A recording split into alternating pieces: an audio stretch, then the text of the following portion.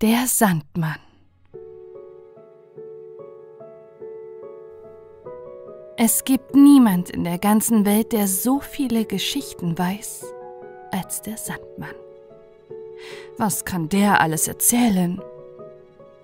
Gegen Abend, wenn die Kinder noch am Tische oder auf ihrem Schemel sitzen, kommt der Sandmann. Er kommt die Treppe sachte herauf, denn er geht auf Socken. Er macht ganz leise die Türen auf und husch, da spritzt er den Kindern süße Milch in die Augen hinein. Und das so fein, so fein, aber immer genug, dass sie die Augen nicht offen halten und ihn deshalb auch nicht sehen können. Er schleicht sich gerade hinter sie, bläst ihnen sachte in den Nacken und dann werden sie schwer im Kopf. Aber es tut nicht weh. Und der Sandmann meint es gut mit den Kindern. Er will nur, dass sie ruhig sein sollen. Und das sind sie am schnellsten, wenn man sie zu Bette gebracht hat. Sie sollen still sein, damit er ihnen Geschichten erzählen kann. Wenn die Kinder nun schlafen, setzt sich der Sandmann auf ihr Bett. Er ist gut gekleidet. Sein Rock ist von Seidenzeug. Aber es ist unmöglich zu sagen, von welcher Farbe denn er glänzt grün, rot und blau, je nachdem er sich wendet. Unter jedem Arm hält er einen Regenschirm. Den einen mit Bildern darauf spannt er über die guten Kinder aus, und dann träumen sie die ganze Nacht die herrlichsten Geschichten. Auf dem anderen ist durchaus nichts. Den stellt er über die unartigen Kinder. Die schlafen dann und haben am Morgen, wenn sie erwachen, nicht das Allergeringste geträumt.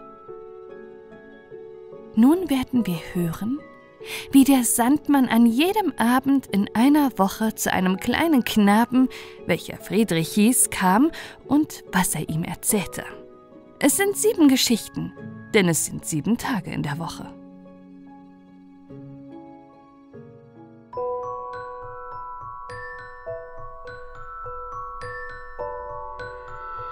Montag.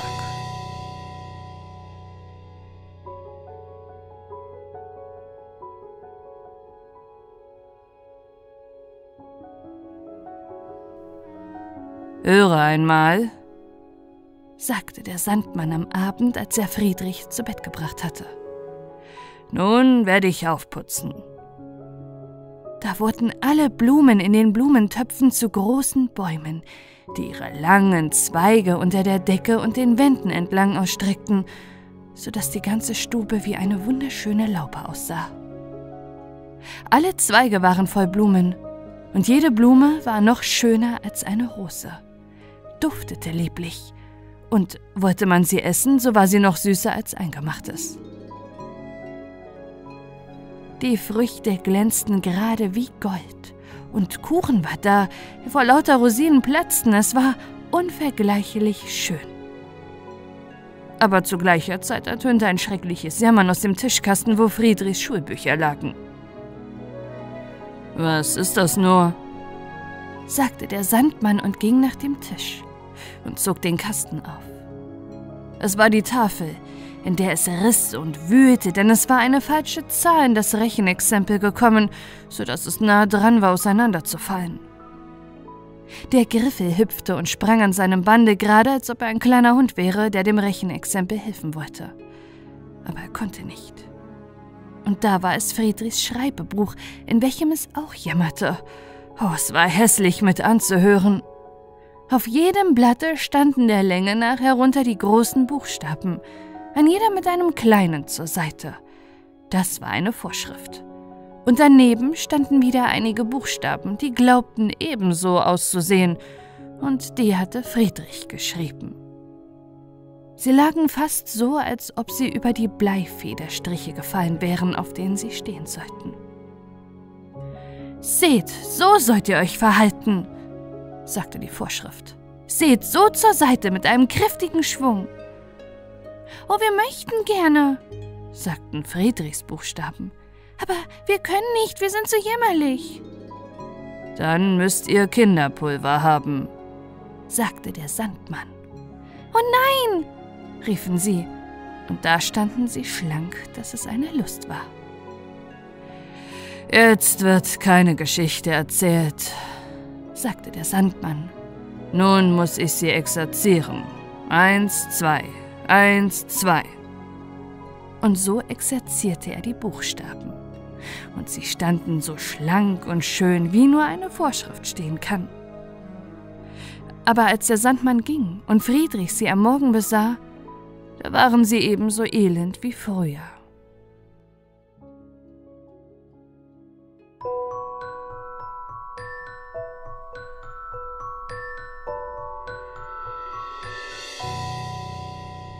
Dienstag.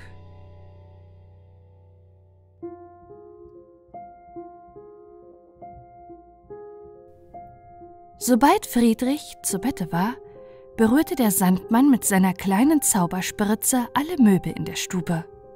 Und zugleich fingen sie an zu plaudern und allesamt sprachen sie von sich selbst, mit Ausnahme des Spucknapfes, der stumm dastand und sich darüber ärgerte, dass sie so eitel sein konnten, nur von sich selbst zu reden, nur an sich selbst zu denken und durchaus keine Rücksicht auf den zu nehmen, der doch so bescheiden in der Ecke stand und sich bespucken ließ. Über der Kommode hing ein großes Gemälde in einem vergoldeten Rahmen. Das war eine Landschaft. Man sah darauf große Blumen im Grase und einen großen Fluss, der um den Wald herumfloss, an vielen Schlössern vorbei und weit herausströmte in das wilde Meer.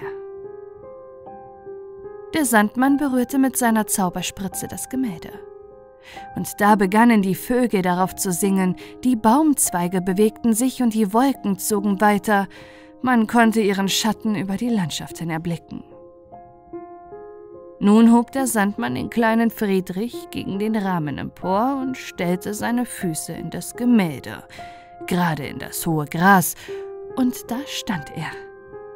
Die Sonne beschien ihn durch die Zweige der Bäume. Er lief zum Wasser und setzte sich in ein kleines Boot, das dort lag. Es war rot und weiß angestrichen, das Segel glänzte wie Silber und sechs Schwäne, alle mit Goldkrone um den Hals und einen strahlend blauen Stern auf dem Kopf, zogen das Boot an dem grünen Walde vorbei, wo die Bäume von Räubern und Hexen und die Blumen von den niedlichen kleinen Elfen und von dem, was die Schmetterlinge ihnen gesagt hatten, erzählten.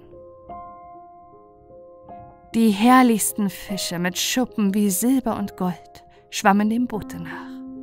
Mitunter machten sie einen Sprung, dass es im Wasser plätscherte, und Vögel rot und blau, klein und groß flogen in langen Reihen hinterher. Die Mücken tanzten und die Maikäfer sagten Bum, Bum. Sie folgten Friedrich alle, und alle hatten sie eine Geschichte zu erzählen. Das war eine Lustfahrt. Bald waren die Wälder ganz dicht und dunkel, bald waren sie wie der herrlichste Garten mit Sonnenschein und Blumen. Da lagen große Schlösser von Glas und von Marmor, auf den Altanen standen Prinzessinnen, und alle waren es kleine Mädchen, die Friedrich gut kannte. Er hatte früher mit ihnen gespielt. Sie streckten jede die Hand aus und hielten das niedlichste Marzipanschweinchen hin, das je eine Kuchenfrau verkaufen konnte. Und Friedrich fasste die eine Seite des Marzipanschweinchens an, indem er vorbeifuhr, und die Prinzessin hielt recht fest. Und so bekam jedes sein Stück. Sie das kleinste, Friedrich das größte. Bei jedem Schlosse standen kleine Prinzenschildwache, Sie schulterten mit Säbeln und ließen Rosinen und Bleisoldaten regnen. Das waren rechte Prinzen.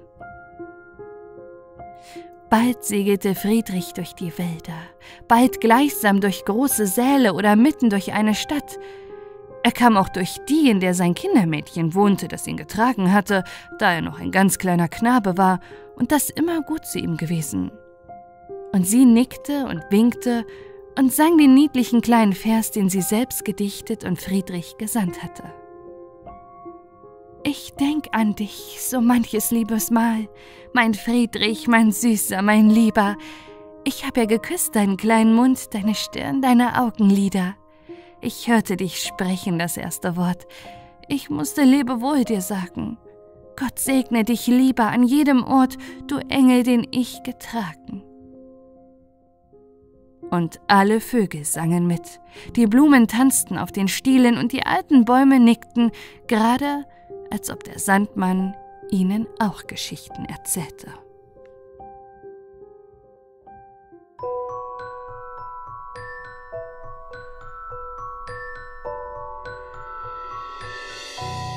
Mittwoch.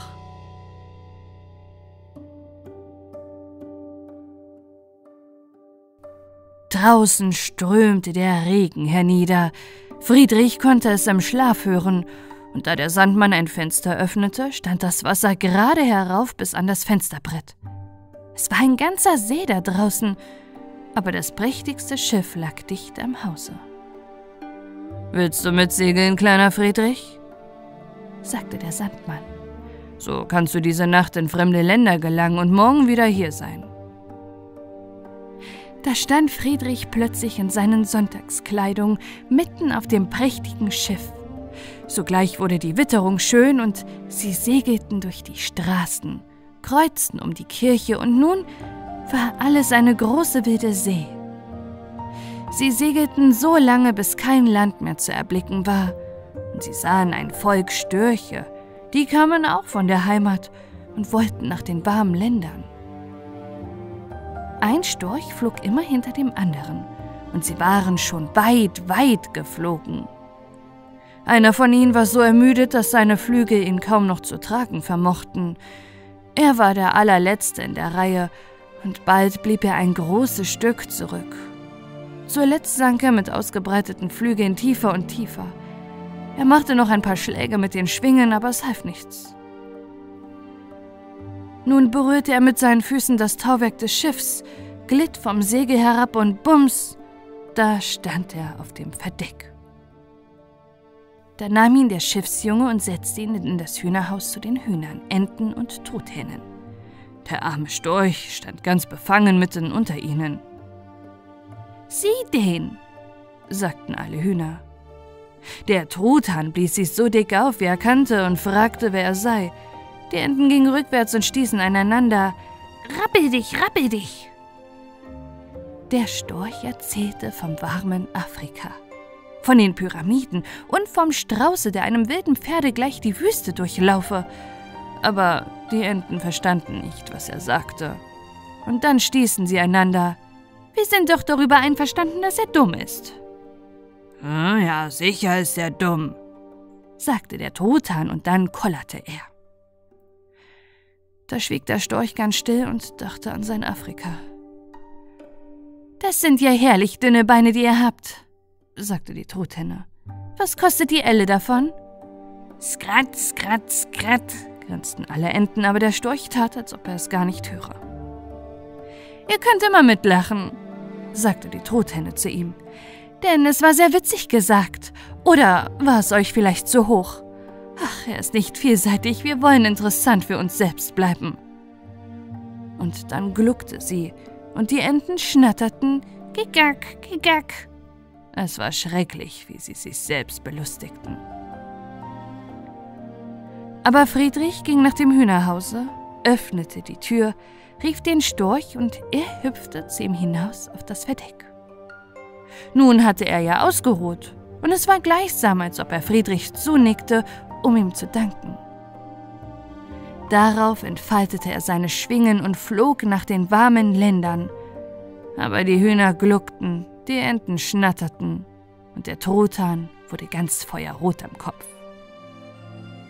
Morgen werden wir Suppe von euch kochen, sagte Friedrich und dann erwachte er und lag in seinem kleinen Bette. Es war doch eine sonderbare Reise, die der Sandmann ihn diese Nacht hatte machen lassen.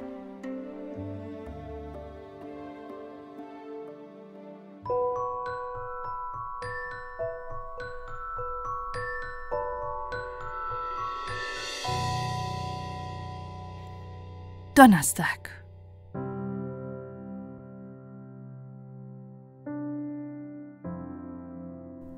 Weißt du was? Sagte der Sandmann. Sei nur nicht furchtsam, hier wirst du eine kleine Maus sehen. Da hielt er ihm seine Hand mit den leichten, niedlichen Tieren entgegen. Sie ist gekommen, um dich zur Hochzeit einzuladen. Hier sind diese Nacht zwei kleine Mäuse, die in den Stand der Ehe treten wollen. Sie wohnen unter deiner Mutter Speisekammerfußboden. Das soll eine schöne Wohnung sein. Aber wie kann ich durch das kleine Mauseloch im Fußboden kommen? fragte Friedrich. Hm, lass mich nur machen, sagte der Sandmann. Ich werde dich schon klein bekommen. Und er berührte Friedrich mit seiner Zauberspritze wodurch dieser sogleich kleiner und kleiner wurde. Zuletzt war er keinen Finger lang. Nun kannst du dir die Kleider des Bleisoldaten leihen. Ich denke, sie werden dir passen und es sieht gut aus, wenn man Uniform in Gesellschaft hat. Ja, freilich, sagte Friedrich, und da war er im Augenblick wie der niedlichste Bleisoldat angekleidet. Wollen Sie nicht so gut sein und sich in Ihrer Mutter Fingerhut setzen? sagte die kleine Maus. Dann werde ich die Ehre haben, sie zu ziehen. Äh, will sich das Fräulein selbst bemühen, sagte Friedrich, und so fuhren sie zur Mäusehochzeit. Zuerst kamen sie unter dem Fußboden in einen langen Gang, der nicht höher war, als dass sie gerade mit dem Fingerhut dort fahren konnten. Der ganze Gang war mit faulem Holze erleuchtet. Riecht es hier nicht herrlich? sagte die Maus, die ihn zog. Der ganze Gang ist mit Speckschwarten geschmiert worden. Es kann nichts Schöneres geben. Nun kamen sie in den Brautsaal hinein. Hier standen zur Rechten all die kleinen Mäusedamen, die wisperten und zischelten, als ob sie einander zum Besten hielten. Zur Linken standen alle Mäuseherren und strichen sich mit der Pfote den Schnauzbart. Aber mitten im Saal sah man das Brautpaar. Sie standen in einer ausgehöhlten Käserinde und küssten sich gar schrecklich viel vor aller Augen, denn sie waren ja Verlobte und sollten nun gleich Hochzeit halten. Es kamen immer mehr und mehr Fremde. Die eine Maus war nah daran, die andere totzutreten. Das Brautpaar hatte sich mitten in die Tür gestellt, sodass man weder hinaus noch hineingelangen konnte. Die ganze Stube war ebenso wie der Gang mit Speckschwarten eingeschmiert. Das war die ganze Bewirtung, aber zum Nachtisch wurde eine Erbse vorgezeigt, in die eine Maus aus der Familie den Namen des Brautpaares eingebissen hatte. Das heißt, den ersten Buchstaben. Das war etwas ganz Außerordentliches. Alle Mäuse sagten, dass es eine schöne Hochzeit und dass die Unterhaltung gut gewesen sei. Dann fuhr Friedrich wieder nach Hause. Er war wahrscheinlich in vornehmer Gesellschaft gewesen aber er hatte auch ordentlich zusammenkriechen, sich klein machen und Bleisoldatenuniform anziehen müssen.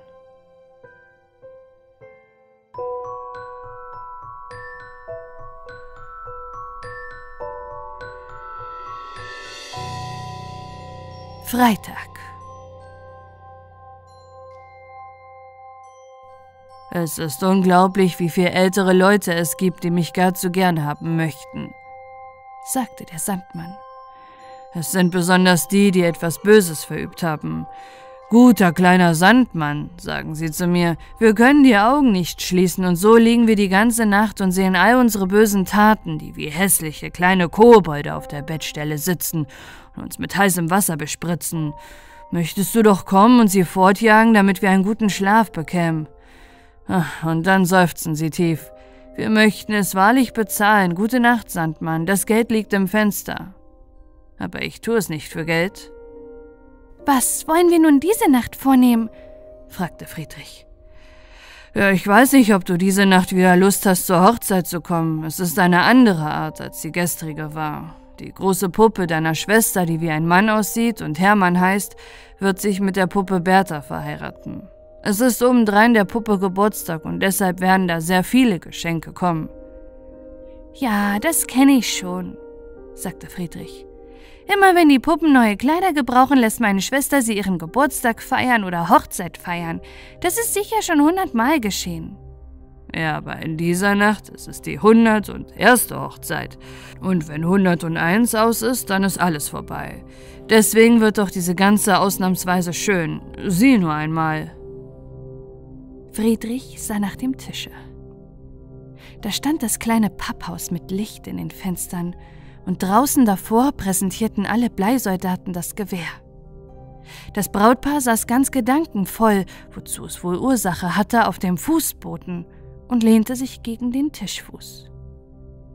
Aber der Sandmann in den schwarzen Rock der Großmutter gekleidet traute sie. Als die Trauung vorbei war, stimmten alle Möbel in der Stube folgenden Gesang an, der von der Bleifeder geschrieben war. Er ging nach der Melodie des Zapfenstreich. Das Lied soll kommen wie der Wind zum Brautpaar, das sich heut verbindt. Sie stehen so steif wie Stock am Spind, da sie von Handschuhleder sind. Hurra, hurra für Stock und Leder, das singen wir heut in Wind und Wetter. Und nun bekamen sie Geschenke. Aber sie hatten sich alle Esswaren verbeten, denn sie hatten an ihrer Liebe genug. Wollen wir nun eine Sommerwohnung beziehen oder auf Reisen gehen? fragte der Bräutigam. Die Schwalbe, die viel gereist war, und die Hofhenne, die fünfmal Küchlein ausgebrütet hatte, wurden zu Rate gezogen. Die Schwalbe erzählte von den herrlichen, warmen Ländern, wo die Weintrauben groß und schwer hängen, wo die Luft so mild ist und die Berge Farbe haben, wenn man sie hier gar nicht an ihnen kennt. Sie haben doch nicht unseren Grünkohl, sagte die Henne. Ich war einen Sommer mit all meinen Küchlein auf dem Lande. Da war eine Sandgrube, in die wir gehen und kratzen konnten. Und dann hatten wir Zutritt zu einem Garten mit Grünkohl. Oh, wie war der grün? Ich kann mir nichts Schöneres denken. Aber ein Kohlstrunk sieht nicht gerade aus wie der andere, sagte die Schwalbe. Und dann ist hier oft schlichtes Wetter. Ja, daran ist man gewöhnt. Aber es ist kalt hier, es friert. Das ist gut für den Kohl, sagte die Henne. Übrigens können wir es auch warm haben. Hatten wir nicht vor Jahren einen Sommer so heiß, dass man kaum atmen konnte? Da haben wir nicht all die giftigen Tiere, die sie dort haben, und wir sind von Räubern befreit. Der ist ein Bösewicht, der nicht findet, dass unser Land das Schönste ist. Er verdiente wahrlich nicht hier zu sein. Und dann weinte die Henne und fuhr fort. Ich bin auch gereist. Ich bin einmal über zwölf Meilen gefahren. Es ist durchaus kein Vergnügen beim Reisen. Ja, die Henne ist eine vernünftige Frau, sagte die Puppe Bertha. Ich halte nichts davon, Berge zu bereisen, denn das geht nur hinauf und dann wieder herunter. Nein, wir wollen nach der Sandgrube hinausziehen und im Kohlgarten spazieren. Und dabei blieb es.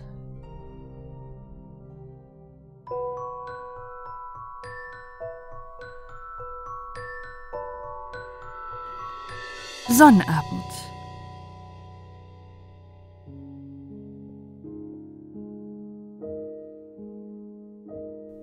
Bekomme ich nun Geschichten zu hören? fragte der kleine Friedrich, sobald der Sandmann ihn in den Schlaf gebracht hatte. Diesen Abend haben wir nicht Zeit dazu, sagte der Sandmann und spannte seinen schönsten Regenschirm über ihn auf. Betrachte nur die Chinesen. Der ganze Regenschirm sah aus wie eine große chinesische Schale mit blauen Bäumen und spitzen Brücken und mit kleinen Chinesen drauf, die da standen und mit dem Kopfe nickten. Wir müssen die ganze Welt zum Morgen schön ausgeputzt haben, sagte der Sandmann. Es ist ja morgen Sonntag. Ich will die Kirchtürme besuchen, um zu sehen, ob die kleinen Kirchbäude die Glocken polieren, damit sie hübsch klingen. Ich will hinaus auf das Feld gehen und sehen, ob die Winde den Staub von Gras und Blättern blasen und, was die größte Arbeit ist, ich will alle Sterne herunterholen, um sie zu polieren. Ich nehme sie in meine Schürze, aber erst muss ein jeder nummeriert werden, damit sie wieder auf dem rechten Fleck kommen. Sonst würden sie nicht festsitzen und wir würden zu viele Sternschnuppen bekommen, weil der eine nach dem anderen herunterputzeln würde. Hören Sie, wissen Sie was, Herr Sandmann? sagte ein altes Bild, welches an der Wand hing, wo Friedrich schlief. Ich bin Friedrichs Urgroßvater. Ich danke Ihnen, dass Sie dem Knaben Geschichten erzählen, aber Sie müssen seine Begriffe nicht verwirren. Die Sterne können nicht heruntergenommen und poliert werden. Die Sterne sind Kugeln, ebenso wie unsere Erde, und das ist gerade das Gute an ihnen. Ich danke dir, du alter Urgroßvater, sagte der Sandmann. Ich danke dir. Du bist ja das Haupt der Familie. Du bist das Urhaupt, aber Ich bin doch älter als du. Ich bin ein alter Heide. Römer und Griechen nannten mich den Traumgott. Ich bin in die vornehmsten Häuser gekommen und komme noch dahin. Ich weiß sowohl mit geringen wie mit großen umzugehen. Nun kannst du erzählen. Und da ging der Sandmann und nahm sein Regenschirm mit. Nun darf man seine Meinung gar nicht mehr sagen, brummte das Bild. Da erwachte Friedrich.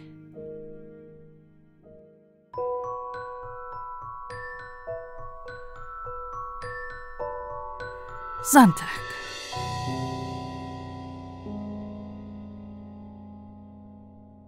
Guten Abend, sagte der Sandmann. Friedrich nickte und wandte das Bild des Urgroßvaters gegen die Wand, um damit es nicht wie gestern mitspreche. Nun musst du mir Geschichten erzählen. Von den fünf grünen Erbsen, die in einer Schote wohnten, und von dem Hahnfuß, der auf dem Hühnerfuße den Hof machte, und von den Stopfenhalle, die so vornehm tat, dass sie sich einbildete, eine Nähnadel zu sein.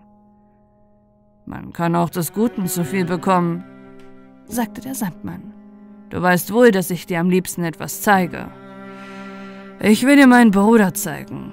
Er heißt auch Sandmann. Aber er kommt zu niemand öfter als einmal, und zu wem er kommt, den nimmt er mit auf sein Pferd und erzählt ihm Geschichten. Er kennt nur zwei. Die eine ist so außerordentlich schön, dass niemand in der Welt sie sich denken kann.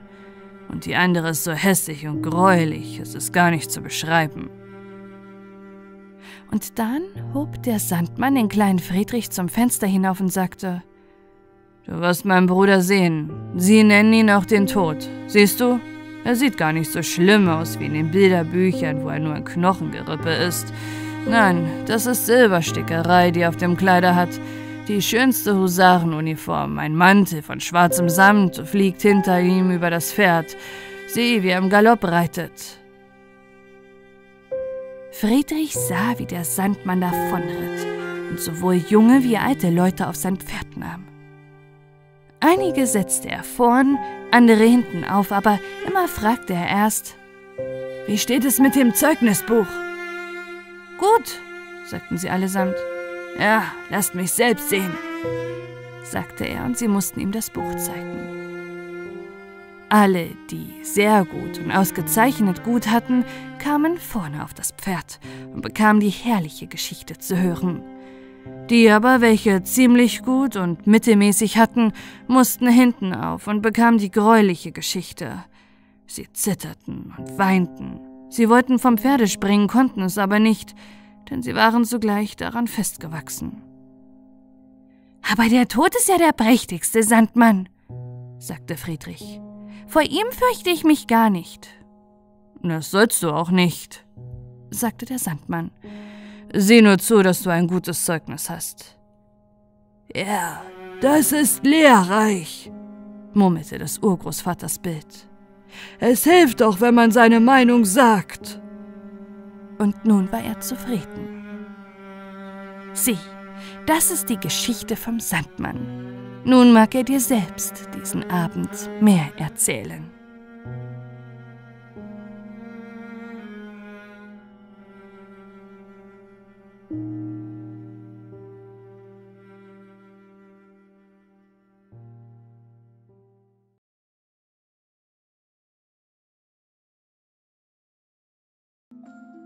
Es waren einmal 25 Zinnsoldaten. Die waren alle Brüder, denn sie waren aus einem alten zinnernen Löffel gemacht worden. Das Gewehr hielten sie im Arm und das Gesicht geradeaus. Rot und blau, überaus herrlich war die Uniform. Das allererste, was sie in dieser Welt hörten, als der Deckel von der Schachtel genommen wurde, in der sie lagen, war das Wort Zinnsoldaten. Das rief ein kleiner Knabe und klatschte in die Hände. Er hatte sie erhalten, denn es war sein Geburtstag, und er stellte sie nun auf dem Tische auf. Der eine Soldat glich dem anderen leibhaft. Nur ein einziger war etwas anders. Er hatte nur ein Bein, denn er war zuletzt gegossen worden, und da war nicht mehr Zinn genug da. Doch stand er ebenso fest auf seinem einen Bein wie die anderen auf ihren zweien und gerade er war es, der sich bemerkbar machte. Auf dem Tisch, auf dem sie aufgestellt wurden, stand vieles andere Spielzeug, aber das, was am meisten in die Augen fiel, war ein niedliches Schloss von Papier. Durch die kleinen Fenster konnte man gerade in die Säle hineinsehen. Draußen vor ihm standen kleine Bäume rings um einen kleinen Spiegel, der wie ein kleiner See aussehen sollte. Schwäne von Wachs schwammen darauf und spiegelten sich. Das war alles niedlich, aber das Niedlichste war doch ein kleines Mädchen, das mitten in der offenen Schlosstür stand. Sie war auch aus Papier ausgeschnitten, aber sie hatte ein schönes Kleid und ein kleines, schmales, blaues Band über den Schultern, gerade wie eine Schärpe. Mitten in diesem saß ein glänzender Stern, gerade so groß wie ihr Gesicht. Das kleine Mädchen streckte seine beiden Arme aus, denn es war eine Tänzerin. Und dann hob es das eine Bein so hoch empor, dass der Zinnsoldat es durchaus nicht finden konnte und glaubte, dass es gerade wie er nur ein Bein habe. Das wäre eine Frau für mich, dachte er. Aber sie ist etwas vornehm. Sie wohnt in einem Schlosse ich habe nur eine Schachtel und da sind wir 25 darin. Das ist kein Ort für sie. Doch ich muss suchen, Bekanntschaft mit ihr anzuknüpfen. Und dann legte er sich, so lang er war, hinter eine Schnupftabakdose, die auf dem Tische stand. Da konnte er recht die kleine feine Dame betrachten, die fortfuhr, auf einem Bein zu stehen, ohne umzufallen. Als es Abend wurde, kamen all die anderen Zinnsoldaten in ihre Schachtel, und die Leute im Hause gingen zu Bette. Nun fing das Spielzeug an zu spielen, sowohl es kommt Besuch als auch Krieg führen und Ball geben. Die Zinnsoldaten rasselten in der Schachtel, denn sie wollten mit dabei sein, aber sie konnten den Deckel nicht aufheben. Der Nussknacker schoss Purzelbäume und der Griffel belustigte sich auf der Tafel. Es war ein Lärm, dass der Kanarienvogel davon erwachte und anfing mitzusprechen, und zwar in Versen. Die beiden einzigen, die sich nicht von der Stelle bewegten, waren der Zinnsoldat und die Tänzerin. Sie hielt sich gerade auf der Zehenspitze und beide Arme ausgestreckt. Er war ebenso standhaft auf seinem einen Bein, seine Augen wandte er keinen Augenblick von ihr weg.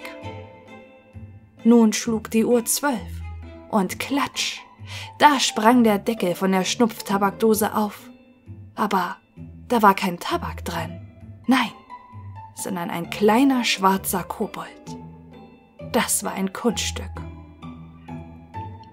Sinnsoldat, sagte der Kobold, halte deine Augen im Zaum aber der Zinnsoldat tat, als ob er es nicht hörte.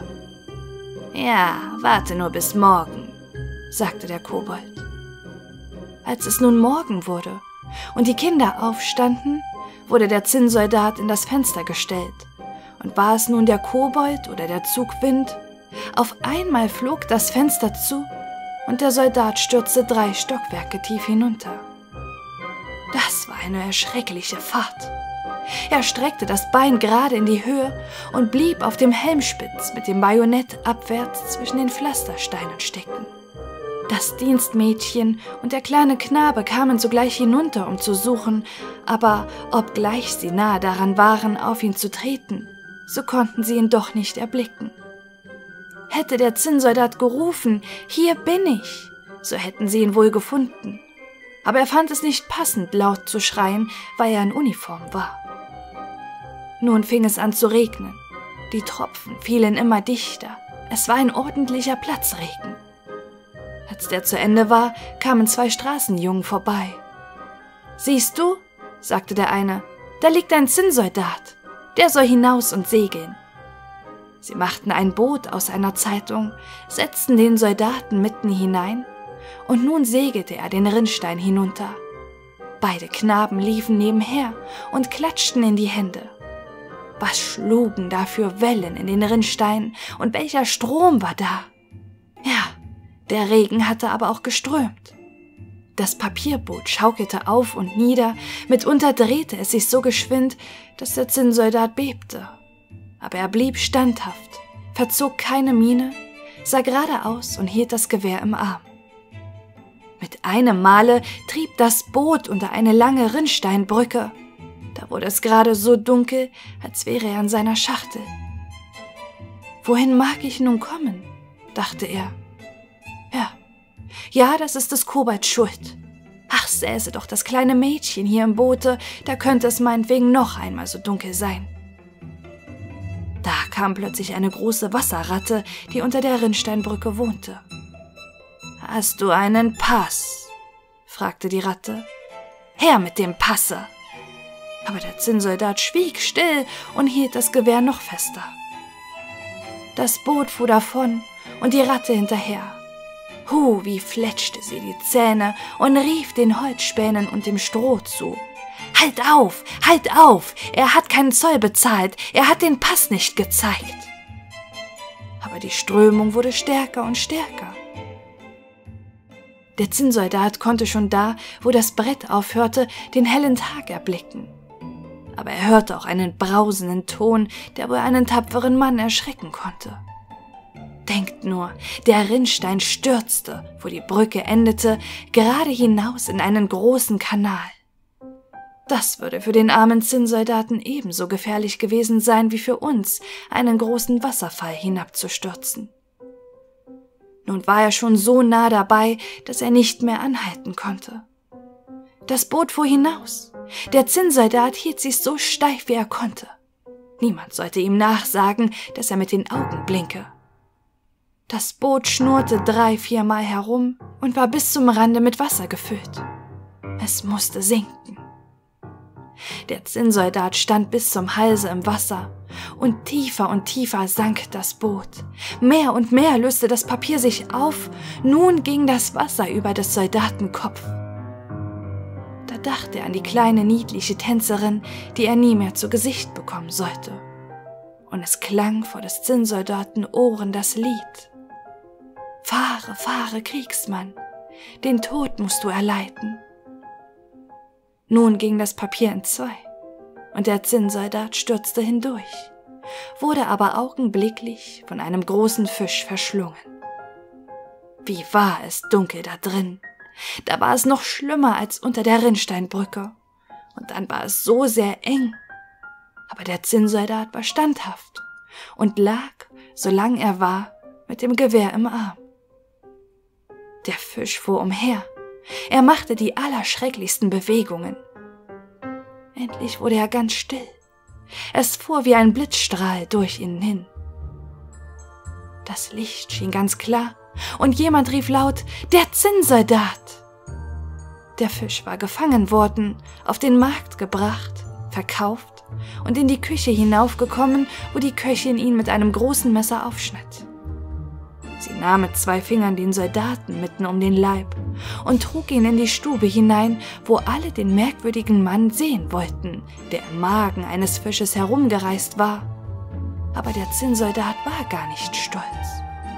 Sie stellten ihn auf den Tisch und da, wie sonderbar kann es doch in der Welt so gehen, der Zinnsoldat war in derselben Stube, in der er früher gewesen war. Er sah dieselben Kinder, und das gleiche Spielzeug stand auf dem Tische. Das herrliche Schloss mit der niedlichen kleinen Tänzerin. Die hielt sich noch auf einem Bein und hatte das andere hoch in der Luft.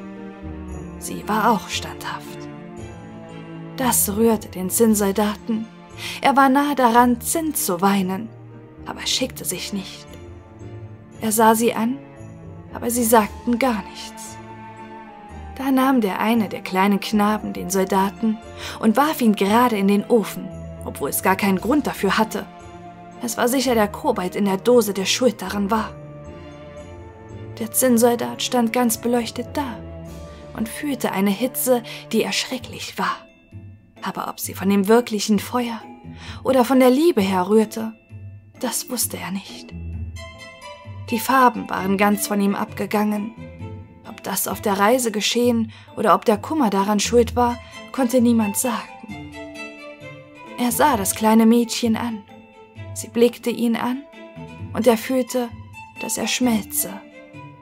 Aber noch stand er standhaft mit dem Gewehre im Arm. Da ging eine Tür auf. Der Wind ergriff die Tänzerin und sie flog, eine Sylphide gleich, gerade in den Ofen zum Zinnsoldaten, loderte in Flammen auf und war verschwunden. Da schmolz der Zinnsoldat zu einem Klumpen. Und als das Mädchen am folgenden Tage die Asche herausnahm, fand sie ihn als ein kleines Zinnherz. Von der Tänzerin hingegen war nur der Stern noch da, und der war kohlschwarz gebrannt.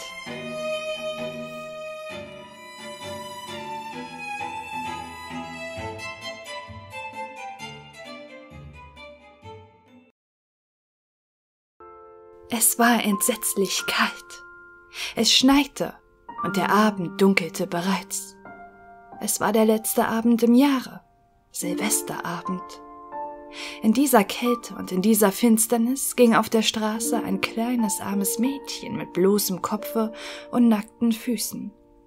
Es hatte wohl freilich Pantoffeln angehabt, als es von zu Hause fortging, aber was konnte das helfen? Es waren sehr große Pantoffeln.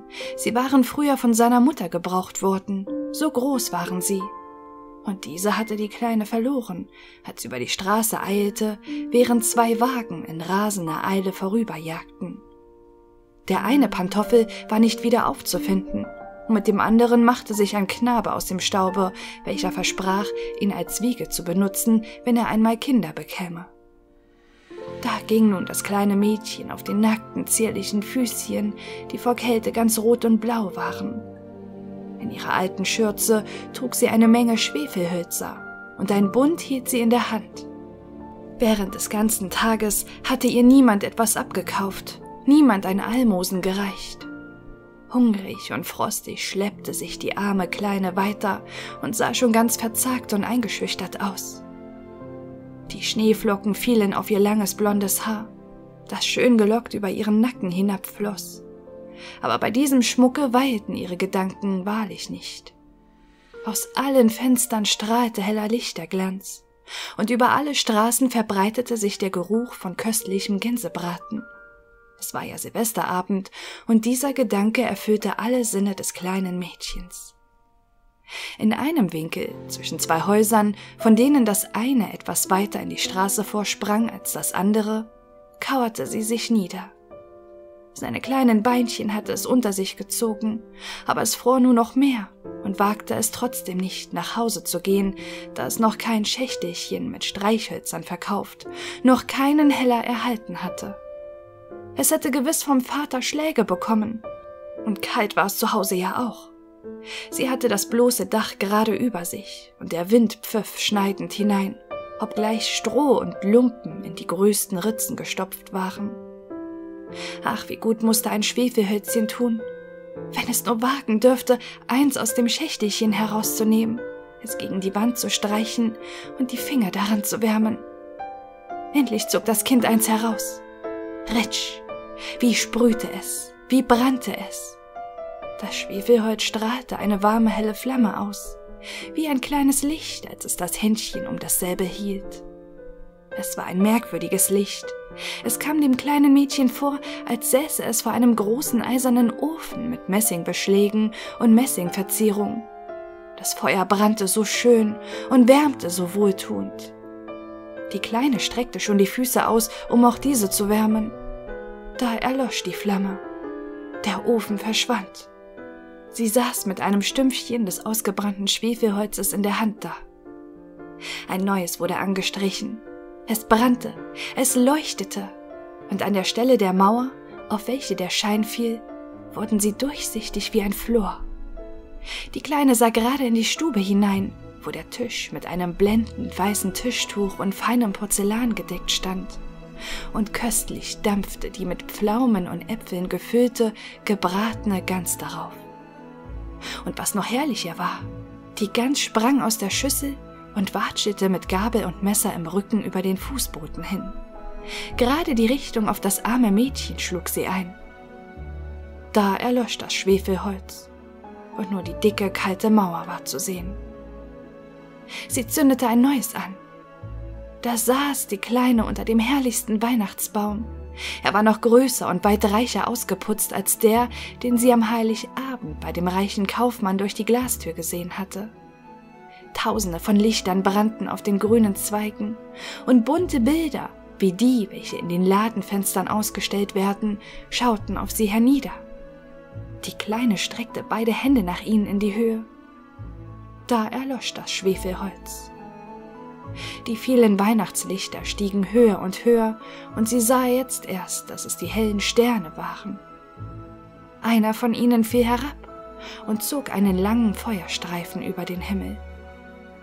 Jetzt stirbt jemand, sagte die Kleine, denn die alte Großmutter, die sie allein freundlich behandelt hatte, jetzt aber längst tot war, hatte gesagt, wenn ein Stern fällt, steigt eine Seele zu Gott empor. Sie strich wieder ein Schwefelholz gegen die Mauer. Es warf einen weiten Lichtschein ringsumher, und im Glanze desselben stand die alte Großmutter hell beleuchtet, mild und freundlich da. Großmutter, rief die Kleine, oh, nimm mich mit dir. Ich weiß, dass du verschwindest, sobald das Schwefelholz ausgeht, verschwindest wie der warme Kachelofen, der köstliche Gänsebraten und der große flimmernde Weihnachtsbaum. Schnell strich sie den ganzen Rest der Schwefelhölzer an, die sich noch im Schächtelchen befanden. Sie wollte die Großmutter festhalten, und die Schwefelhölzer verbreiteten einen solchen Glanz, dass es heller war als am lichten Tag. So schön, so groß war die Großmutter nie gewesen. Sie nahm das kleine Mädchen auf ihren Arm, und hoch schwebten sie empor in Glanz und Freude. Kälte und Hunger und Angst wichen von ihm. Sie war bei Gott. Aber im Winkel am Hause saß in der kalten Morgenstunde das kleine Mädchen mit roten Wangen, mit Lächeln um den Mund, tot, erfroren am letzten Tag des alten Jahres. Der Morgen des neuen Jahres ging über der kleinen Leiche auf, die mit den Schwefelhölzern, wovon fast ein Schächtelchen verbrannt war, da saß. Sie hat sich wärmen wollen, sagte man. Niemand wusste, was sie Schönes gesehen hatte, in welchem Glanze sie mit der alten Großmutter zur Neujahrsfreude eingegangen war.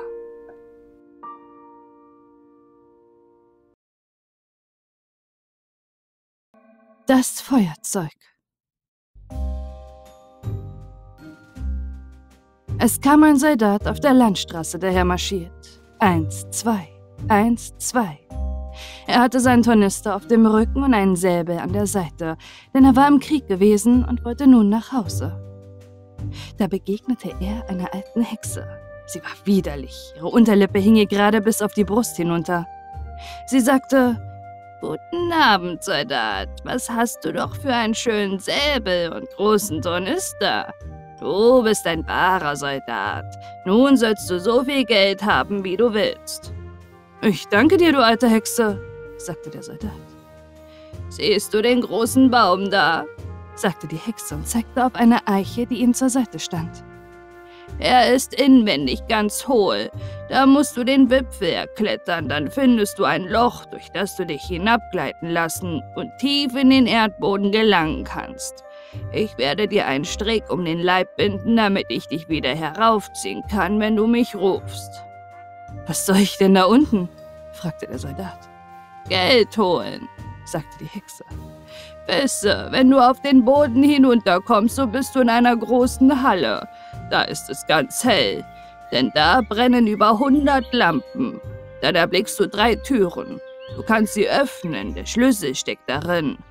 Gehst du in die erste Kammer hinein, so siehst du mitten auf dem Fußboden eine große Kiste. Auf ihr sitzt ein Hund. Er hat ein paar Augen so groß wie Teetassen. Doch darum brauchst du dich nicht kümmern. Ich gebe dir meine blaue Schürze, die kannst du auf dem Fußboden ausbreiten. Geh dann rasch hin und nimm den Hund, setz ihn auf meine Schürze, öffne die Kiste und nimm so viel Geld, wie du willst. Es ist lauter Kupfer. Willst du lieber Silber haben, so musst du in das nächste Zimmer hineingehen. Da sitzt ein Hund, der hat ein paar Augen so groß wie Mühlräder. Doch das soll dich nicht kümmern. Setz ihn auf meine Schürze und nimm von dem Gelde. Willst du hingegen Gold haben, so kannst du es auch bekommen, und zwar so viel, wie du tragen kannst, wenn du in die dritte Kammer hineingehst. Aber der Hund, der auf dem Goldkasten sitzt, hat zwei Augen, jedes so groß wie ein Turm. Glaube mir, das ist ein ordentlicher Hund. Aber daran sollst du dich nicht kehren. Setz ihn auf meine Schürze, so tut er dir nichts. Und nimm aus der Kiste so viel Gold, wie du willst. Ach, das ist nicht übel, sagte der Soldat.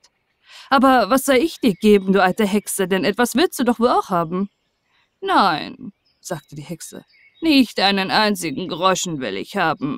Für mich sollst du nur ein altes Feuerzeug nehmen, das meine Großmutter vergaß, als sie das letzte Mal da unten war. Nun, so binde mir den Strick um den Leib, sagte der Soldat. Hier ist er, sagte die Hexe.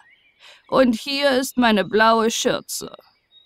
Dann kletterte der Soldat auf den Baum hinauf, ließ sich in das Loch hinuntergleiten und stand nun, wie die Hexe gesagt hatte, unten in der großen Halle, wo die vielen Lampen brannten. Nun öffnete er die erste Tür. Oh, da saß der Hund mit den Augen so groß wie Teetassen und glotzte ihn an.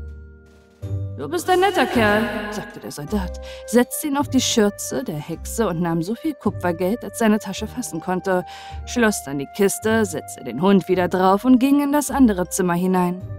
Wahrhaftig, da saß der Hund mit den Augen so groß wie Mühlräder. Du solltest mich lieber nicht so ansehen, sagte der Soldat. Du könntest Augenschmerzen bekommen. Und dann setzte er den Hund auf die Schürze der Hexe aber als er das viele Silbergeld in der Kiste erblickte, warf er all das Kupfergeld, was er hatte, fort und füllte die Taschen und den Tornister nur mit Silber. Nun ging er in die dritte Kammer. Das war hässlich. Der Hund darin hatte wirklich zwei Augen so groß wie ein Turm, und sie drehten sich im Kopfe gerade wie die Flügel von Windmühlen.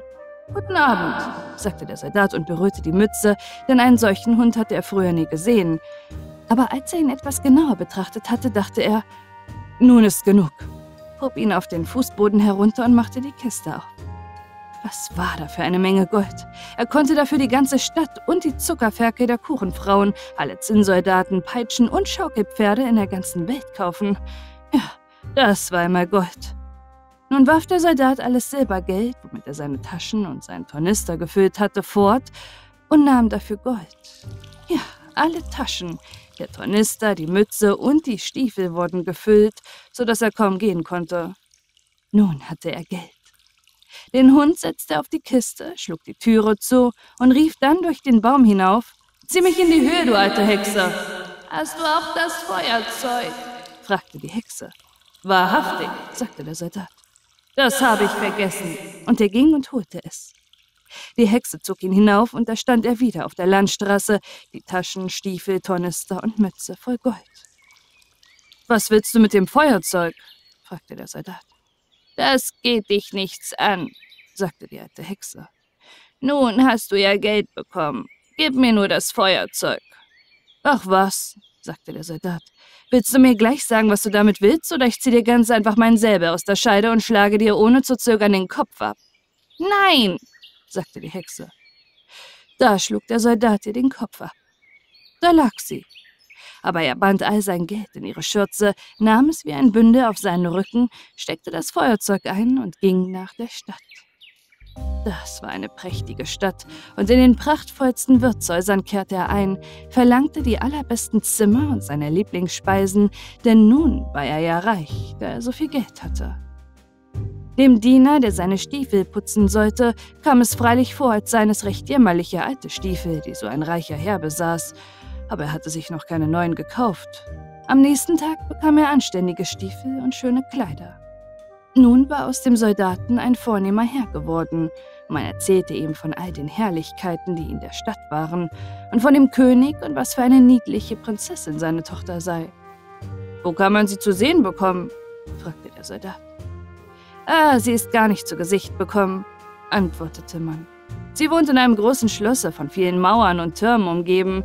Niemand außer dem König darf bei ihr sein und ausgehen, denn es ist prophezeit, dass sie an einem ganz gemeinen Soldaten verheiratet wird, und das kann der König nicht zugeben. Oh, ich möchte sie wohl sehen, dachte der Soldat, aber dazu konnte er durchaus keine Erlaubnis erhalten. Nun lebte er recht lustig, besuchte das Theater, fuhr in des Königs Garten und gab den Armen viel Geld. Und das war hübsch von ihm. Er wusste noch von früheren Zeiten her, wie schlimm es ist, nicht einen Groschen zu besitzen. Er war immer noch reich, hatte schöne Kleider und bekam viele Freunde, die alle sagten, er sei ein vortrefflicher Mensch, ein wahrer Edelmann, und das hatte der Soldat gern. Aber da er jeden Tag Geld ausgab und nie etwas einnahm, so blieben ihm zuletzt nicht mehr als zwei Groschen übrig. Er musste die schönen Zimmer verlassen und oben in einer ganz kleinen Kammer wohnen, dicht unter dem Dache, seine Stiefel selbst bürsten und sie mit einer Stopfnadel zusammennähen, und keiner seiner Freunde kam zu ihm, denn es waren viele Treppen hinaufzusteigen. Es war ein ganz dunkler Abend. Er konnte sich nicht einmal ein Licht kaufen, aber da fiel es ihm ein, dass ein kleines Stückchen in dem Feuerzeuge liege, das aus dem hohlen Baume, in den die Hexe ihm hinuntergeholfen, genommen hatte. Er holte das Feuerzeug und das Lichtstückchen vor, aber gerade als er Feuer schlug, sprang die Tür auf und der Hund, der Augen so groß wie ein paar Teetassen hatte und den er unten unter dem Baume gesehen hatte, stand vor ihm und fragte, Was befiehlt mein Herr? Was ist das? fragte der Soldat. Das ist ja ein lustiges Feuerzeug. Wenn ich so bekommen kann, was ich haben will, schaffe mir etwas Geld, sagte er zum Hunde, und schnell war er fort und wieder da und hielt einen großen Beutel voll Geld in seinem Maule. Nun wusste der Soldat, was für ein prächtiges Feuerzeug das war. Schlug er einmal, so kam der Hund, der auf der Kiste mit Kupfergeld saß. Schlug er zweimal, so kam der, der alles Silbergeld bewachte. Und schlug er dreimal, so kam der, der das Gold hatte. Nun zog der Soldat wieder in die schönen Zimmer, erschien wieder in schönen Kleidern und da erkannten ihn sogleich alle seine Freunde und hielten sehr viel von ihm. Da dachte er einmal, es ist doch recht Sonderbares, dass man die Prinzessin nicht zu sehen bekommen kann. Sie soll sehr schön sein, aber was kann das helfen, wenn sie immer in dem großen Schlosse sitzen soll? Kann ich sie denn gar nicht zu sehen bekommen? Wo ist mein Feuerzeug? Er schlug Feuer und da kam der Hund mit den Augen so groß wie Teetassen. Es ist freilich mitten in der Nacht, sagte der Soldat. Aber ich möchte herzlich gern die Prinzessin nur einen Augenblick sehen. Der Hund war gleich aus der Tür, und ehe der Soldat daran dachte, sah er ihn schon mit der Prinzessin wieder. Sie saß und schlief auf dem Rücken des Hundes und war so lieblich, dass jedermann sehen konnte, dass es eine wirkliche Prinzessin war. Der Soldat konnte es durchaus nicht unterlassen, sie zu küssen, denn er war ganz und gar Soldat. Darauf lief der Hund mit der Prinzessin zurück. Doch als es Morgen wurde und der König und die Königin kamen, sagte die Prinzessin, sie habe in der vorigen Nacht einen ganz sonderbaren Traum von einem Hunde und einem Soldaten gehabt. Sie sei auf dem Hunde geritten und der Soldat habe sie geküsst. Das wäre wahrlich eine schöne Geschichte, sagte die Königin. Nun sollte in der nächsten Nacht eine der alten Hofdamen am Bette der Prinzessin wachen, um zu sehen, ob es ein Traum sei oder was sonst. Der Soldat hatte eine außerordentliche Sehnsucht, die Prinzessin wiederzusehen, und so kam denn der Hund in der Nacht, nahm sie und lief, was er konnte. Aber die alte Hofdame lief ebenso schnell hinterher. Als sie nun sah, dass der Hund mit der Prinzessin in einem großen Hause verschwand, dachte sie, nun weiß ich, wo er ist, und machte mit einem Stück Kreide ein großes Kreuz an die Tür. Dann ging sie nach Hause und legte sich nieder, und der Hund kam auch mit der Prinzessin wieder. Aber als er sah, dass ein Kreuz an der Tür, wo der Soldat wohnte, gemacht war, nahm er auch ein Stück Kreide und machte Kreuze an alle Türen in der ganzen Stadt. Das war klug getan, denn nun konnte ja die Hofdame die richtige Tür nicht finden, da Kreuze an allen waren. Frühmorgens kam der König und die Königin, die alte Hofdame und alle Offiziere, um zu sehen, wo die Prinzessin gewesen war. Da ist es, sagte der König, als er die erste Tür mit einem Kreuz erblickte. Nein, dort ist es, lieber Mann, sagte die Königin, als sie die zweite Tür mit einem Kreuz darauf gewahr wurde. Aber da ist eins und dort ist eins, sagten alle, wohin sie blickten, waren Kreuze an den Türen. Da begriffen sie denn wohl, dass ihnen das Suchen nichts helfen würde. Aber die Königin war eine äußerst kluge Frau, die mehr konnte als in einer Kutsche fahren. Sie nahm ihre große goldene Schere, schnitt ein großes Stück Seidenzeug in Stücke und nähte einen kleinen niedlichen Beutel. Den füllte sie mit feiner Buchweizengrütze, band ihn der Prinzessin auf den Rücken und als das getan war, schnitt sie ein kleines Loch in den Beutel, sodass die Grütze den ganzen Weg bestreuen konnte, den die Prinzessin nahm. In der Nacht kam nun der Hund wieder, nahm die Prinzessin auf den Rücken und lief mit ihr zu dem Soldaten hin, der sie lieb hatte und gern ein Prinz hätte sein mögen, um sie zur Frau bekommen zu können. Der Hund merkte nicht, wie die Grütze gerade vom Schlosser bis zum Fenster des Soldaten, wo er mit der Prinzessin die Mauer hinauflief, sich ausstreute. Am Morgen sahen der König und die Königin nun wohl, wo ihre Tochter gewesen war, und da nahmen sie den Soldaten und setzten ihn ins Gefängnis. Da saß er. Oh, wie dunkel und hässlich war es da, und dazu sagte man ihm, morgen wirst du gehängt werden. Das zu hören war ihm nicht ergötzlich, und sein Feuerzeug hatte er zu Hause im Gasthofe gelassen. Am Morgen konnte er durch das Eisengitter vor dem kleinen Fenster sehen, wie sich das Volk beeilte, aus der Stadt zu kommen, um ihn hängen zu sehen. Er hörte die Trommeln und sah die Soldaten marschieren. Alle Menschen liefen hinaus, unter ihnen war auch ein Schuhmacherjunge mit Schurzfell und Pantoffeln. Er lief so im Galopp, dass einer seiner Pantoffeln gerade gegen die Mauer abflog, hinter der der Soldat saß und durch das Eisengitter hindurchsah. Ei, du Schuhmacherjunge, du brauchst nicht solche Eile zu haben, sagte der Soldat zu ihm. Es wird nichts daraus, bevor ich komme. Willst du aber hinlaufen, wo ich gewohnt habe und mir mein Feuerzeug holen, so sollst du vier Groschen haben. Aber du musst schnell machen. Der Schuhmacherjunge wollte gern die vier Groschen haben und lief fort nach dem Feuerzeug, brachte es dem Soldaten und ja, nun werden wir hören. Außerhalb der Stadt war ein großer Galgen gemauert, ringsumher standen die Soldaten und viele tausend Menschen. Der König und die Königin saßen oben auf einem prächtigen Thron, den Richtern und dem ganzen Rat gegenüber. Der Soldat stand schon oben auf der Leiter, aber als sie ihm den Strick um den Hals legen wollten, sagte er, dass man ja immer einen armen Sünder, bevor er seine Strafe erdulde, die Erfüllung eines unschuldigen Wunsches gewähre. Er möchte eine Pfeife Tabak rauchen, es sei ja die letzte Pfeife, die er in dieser Welt bekomme.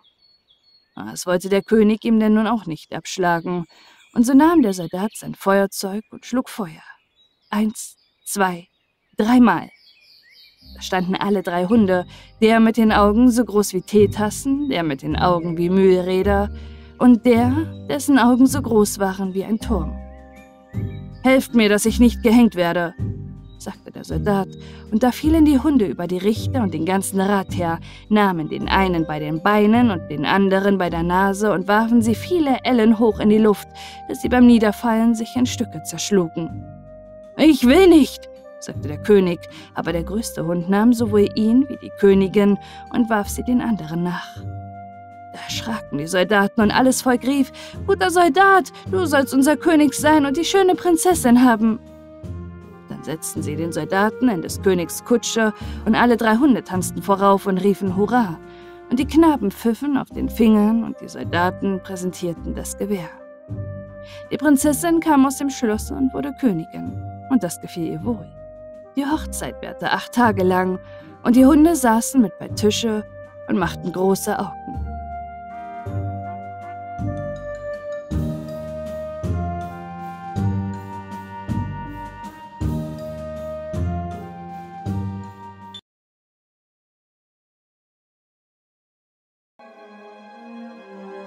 Es war einmal eine Frau, die sich sehr nach einem kleinen Kinde sehnte, aber sie wusste nicht, woher sie es nehmen sollte. Da ging sie zu einer alten Hexe und sagte zu ihr, ich möchte herzlich gern ein kleines Kind haben. Willst du mir nicht sagen, woher ich das bekommen kann? Ja, damit wollen wir schon fertig werden, sagte die Hexe. Da hast du ein Gerstenkorn das ist gar nicht von der Art, wie sie auf dem Felde des Landmanns wachsen oder wie sie die Hühner zu fressen bekommen. Lege das in einen Blumentopf, so wirst du etwas zu sehen bekommen. Ich danke dir, sagte die Frau und gab der Hexe fünf Groschen, ging dann nach Hause, pflanzte das Gerstenkorn, und sogleich wuchs da eine herrliche große Blume. Sie sah aus wie eine Tulpe, aber die Blätter schlossen sich fest zusammen, gerade als ob sie noch in der Knospe wären. Das ist eine niedliche Blume, sagte die Frau und küsste sie auf die roten und gelben Blätter. Aber gerade wie sie darauf küsste, öffnete sich die Blume mit einem Knall. Es war eine wirkliche Tulpe, wie man sie nun sehen konnte, aber mitten in der Blume saß auf dem grünen Samengriffel ein ganz kleines Mädchen, fein und niedlich. Sie war nicht über einen Daumen breit und lang, deswegen wurde sie Däumelinchen genannt. Eine niedliche lackierte Walnussschale bekam sie zur Wiege, blaue Veilchenblätter waren ihre Matratze und ein Rosenblatt ihr Deckbett.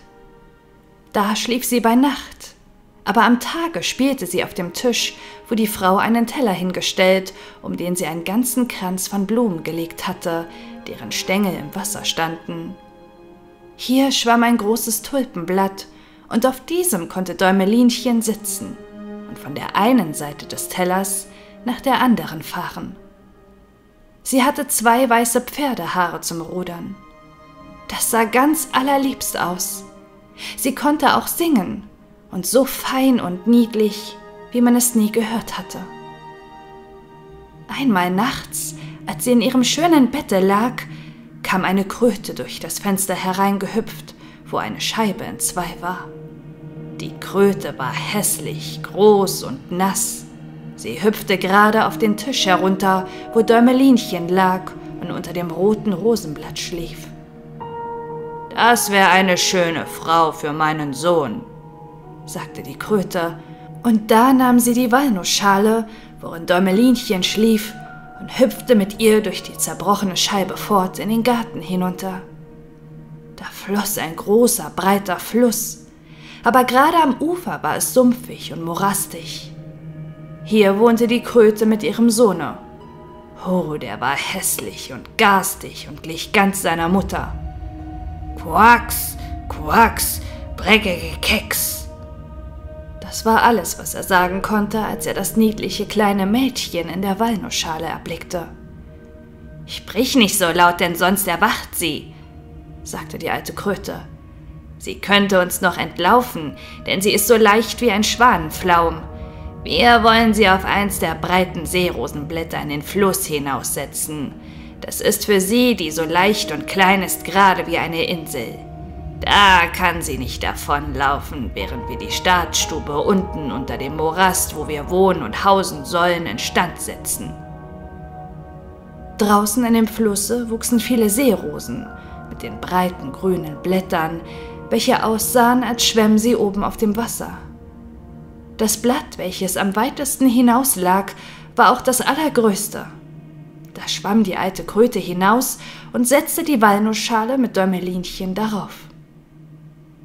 Das kleine Wesen erwachte früh am Morgen, und da sie sah, wo sie war, fing sie recht bitterlich an zu weinen, denn es war Wasser zu allen Seiten des großen grünen Blattes, und sie konnte gar nicht an das Land kommen. Die alte Kröte saß unten im Morast und putzte ihre Stube mit Schilf und gelben Fischblattblumen aus. Es sollte da recht hübsch für die neue Schwiegertochter werden schwamm dann mit dem hässlichen Sohne zu dem Blatte hinaus, wo Däumelinchen stand. Sie wollten ihr hübsches Bett holen, das sollte in das Brautgemach gestellt werden, bevor sie es selbst betrat. Die alte Kröte verneigte sich tief im Wasser vor ihr und sagte, Hier siehst du meinen Sohn, er wird dein Mann sein und ihr werdet recht prächtig unten im Morast wohnen. Quacks, quacks, breckere Keks, war alles, was der Sohn sagte. Dann nahmen sie das niedliche kleine Bett und schwammen damit fort. Aber Däumelinchen saß ganz allein und weinte auf dem grünen Blatte, denn sie mochte nicht bei der garstigen Kröte wohnen oder ihrem hässlichen Sohn zum Manne haben. Die kleinen Fische, welche unten im Wasser schwammen, hatten die Kröte wohl gesehen und gehört, was sie gesagt hatte. Deshalb streckten sie die Köpfe hervor Sie wollten doch das kleine Mädchen sehen. Sobald sie es erblickten, fanden sie dasselbe so niedlich, dass es ihnen leid tat, dass es zur hässlichen Kröte hinunter sollte. Nein, das durfte nie geschehen. Sie versammelten sich unten im Wasser rings um den grünen Stängel, welcher das Blatt hielt, nagten mit den Zähnen den Stiel ab, und da schwamm das Blatt den Fluss hinab mit Däumelinchen davon, weit weg, wo die Kröte sie nicht erreichen konnte. Däumelinchen segelte vor vielen Städten vorbei, und die kleinen Vögel saßen in den Büschen, sahen sie und sangen, Welch liebliches kleines Mädchen! Das Blatt schwamm mit ihr immer weiter und weiter fort. So reiste Däumelinchen außer Landes. Ein niedlicher weißer Schmetterling umflatterte sie stets und ließ sich zuletzt auf das Blatt nieder, denn Däumelinchen gefiel ihm. Diese war sehr erfreut, denn nun konnte die Kröte sie nicht erreichen, und es war so schön, wo sie fuhr. Die Sonne schien auf das Wasser, dieses glänzte wie das herrlichste Gold. Sie nahm ihren Gürtel, band das Ende um den Schmetterling und das andere Ende des Bandes befestigte sie am Blatte. Das glitt nun viel schneller davon und sie mit, denn sie stand ja auf demselben. Da kam ein großer Maikäfer angeflogen, der erblickte sie und schlug augenblicklich seine Klauen um ihren schlanken Leib und flog mit ihr auf einen Baum. Das grüne Blatt schwamm den Fluss hinab und der Schmetterling mit, denn er war an das Blatt gebunden und konnte nicht von demselben loskommen. Wie war das arme Dörmelinchen erschrocken, als der Maikäfer mit ihr auf den Baum flog. Aber hauptsächlich war sie des schönen weißen Schmetterlings wegen betrübt, den sie an das Blatt festgebunden hatte. Im Fall er sich nicht befreien konnte, musste er ja verhungern. Aber darum kümmerte sich der Maikäfer gar nicht. Er setzte sich mit ihr auf das größte grüne Blatt des Baumes, gab ihr das Süße der Blumen zu essen und sagte, dass sie niedlich sei, obgleich sie ein Maikäfer durchaus nicht gleiche. Später kamen all die anderen Maikäfer, die im Baume wohnten, und besuchten sie. Sie betrachteten Däumelinchen, und die Maikäferfräulein rümpften die Fühlhörner und sagten, Sie hat doch nicht mehr als zwei Beine, das sieht erbärmlich aus. Sie hat keine Fühlhörner, sagte eine andere. Sie ist so schlank in der Mitte, pfui, sie sieht wie ein Mensch aus, wie hässlich sie ist, sagten alle Maikäferinnen. Und doch war Däumelinchen so niedlich. Das erkannte auch der Maikäfer, der sie geraubt hatte aber als alle anderen sagten, sie sei hässlich, so glaubte er es zuletzt auch und wollte sie gar nicht haben. Sie konnte gehen, wohin sie wollte. Sie flogen mit ihr den Baum hinab und setzten sie auf ein Gänseblümchen. Da weinte sie, weil sie so hässlich sei, dass die Maikäfer sie nicht haben wollten. Und doch war sie das Lieblichste, das man sich denken konnte, so fein und klar wie das schönste Rosenblatt. Den ganzen Sommer überlebte das arme Däumelinchen ganz allein in dem großen Walde. Sie flocht sich ein Bett aus Grashalmen und hing es unter einem Klettenblatte auf, so war sie vor dem Regen geschützt. Sie pflückte das Süße der Blumen zur Speise und trank vom Tau, der jeden Morgen auf den Blättern lag. So verging Sommer und Herbst. Aber nun kam der Winter, der kalte, lange Winter. Alle Vögel, die so schön von ihr gesungen hatten, flogen davon. Bäume und Blumen verdorrten. Das große Klettenblatt, unter dem sie gewohnt hatte, schrumpfte zusammen, und es blieb nichts als ein gelber, verwelkter Stängel zurück. Däumelinchen fror erschrecklich, denn ihre Kleider waren in zwei und sie war selbst so fein und klein, sie musste erfrieren. Es fing an zu schneien und jede Schneeflocke, die auf sie fiel, war, als wenn man auf uns eine ganze Schaufel voll Schnee wirft, denn wir sind groß und sie war nur ein Zoll lang. Da hüllte sie sich in ein verdorrtes Blatt ein, aber das wollte nicht wärmen. Sie zitterte vor Kälte. Dicht vor dem Walde, wohin sie nun gekommen war, lag ein großes Kornfeld. Aber das Korn war schon lange abgeschnitten nur die nackten, trockenen Stoppeln standen auf der gefrorenen Erde hervor. Sie waren gerade wie ein ganzer Wald für sie zu durchwandern, und sie zitterte vor Kälte. Da gelangte sie vor die Türe der Feldmaus, die ein kleines Loch unter dem Kornstoppeln hatte. Da wohnte die Feldmaus warm und gut, hatte die ganze Stube voll Korn, eine herrliche Küche und Speisekammer. Das arme Däumelinchen stellte sich in die Türe, gerade wie jedes andere arme Bettelmädchen, und bat um ein kleines Stück von einem Gerstenkorn, denn sie hatte in zwei Tagen nicht das Mindeste zu essen gehabt.